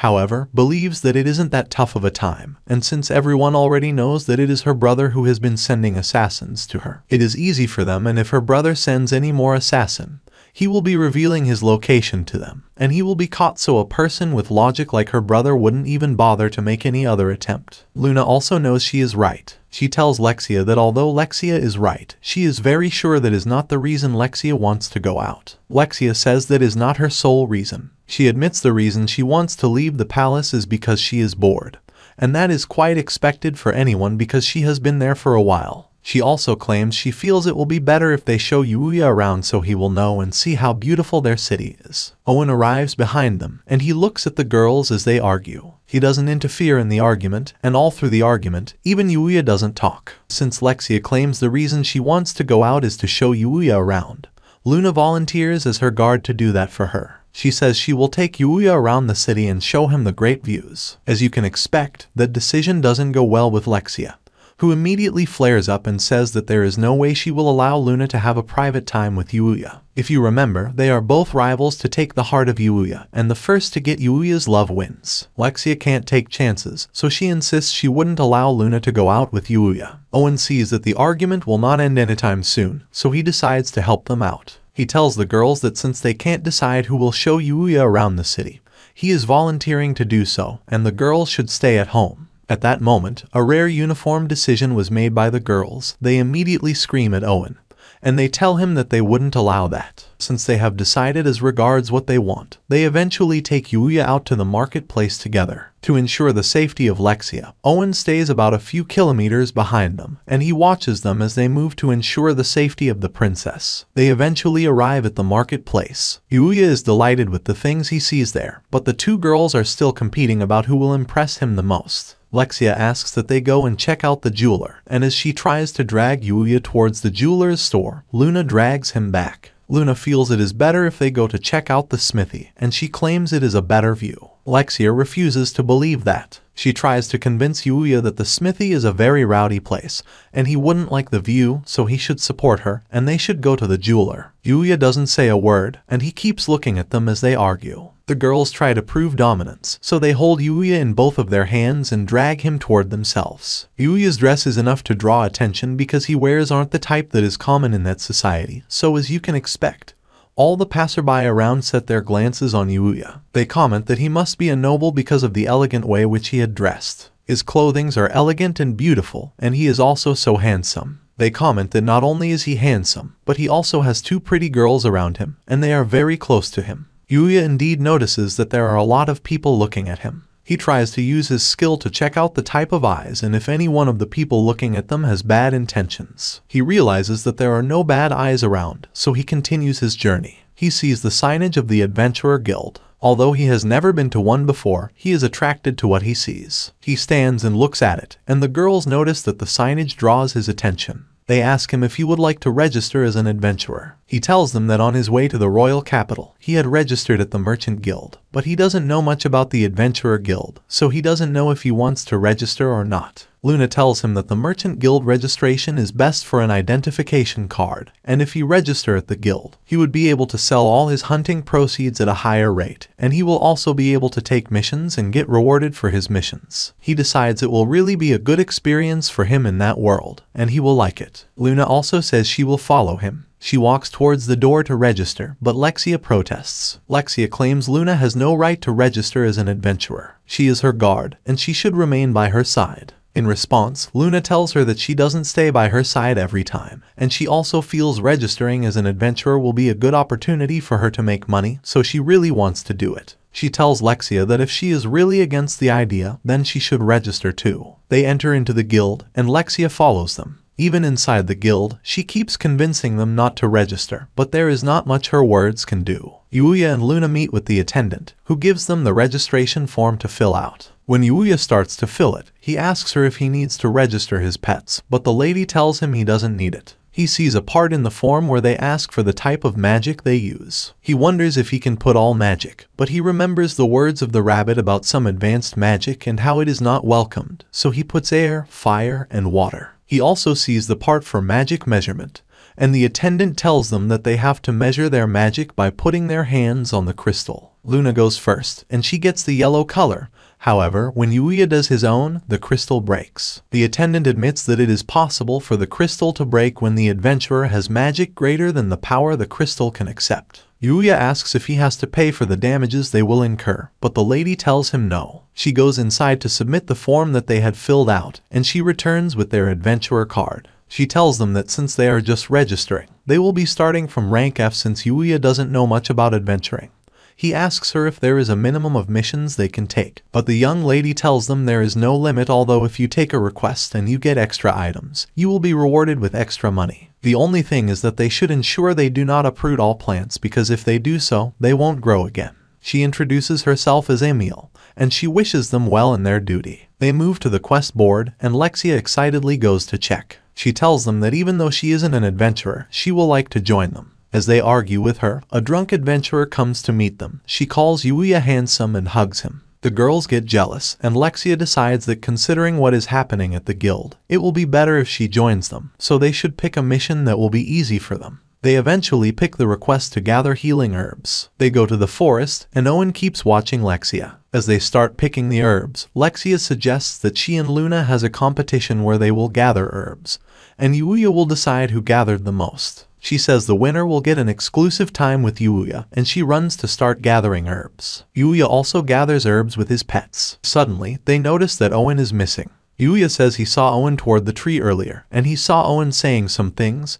He goes there, and they see Owen and the other guards coming with their horses. Owen tells Yuya that the prince has been found and they have to arrest him before he escapes. Owen tells Lexia and Luna to return home, and he begs Luna to take care of Lexia. They give Yuya a horse to ride. As they ride, Yuya remembers that Owen had told him that day that if the prince isn't restrained, he could cause division in the city, and the assassins which the prince had hired are professionals, so they need a better hand which is why they need him. He asks Owen where the prince is at the moment, and Owen tells him the prince is at the isolated cabin that the king had restricted for him. They arrive there, but before entering, Yuya feels the place is too empty. They wonder if the other guards that had come to restrict the prince were successful, but when they get inside, they see that the prince is holding one of them at ransom and claiming he will kill the guard if they come nearer to him. Yuya sends Knight to distract the prince, and he attacks him. They eventually restrain the prince, but before they handcuff him, a strange being enters the building. The prince admits that she was the one who asked him to do all he did,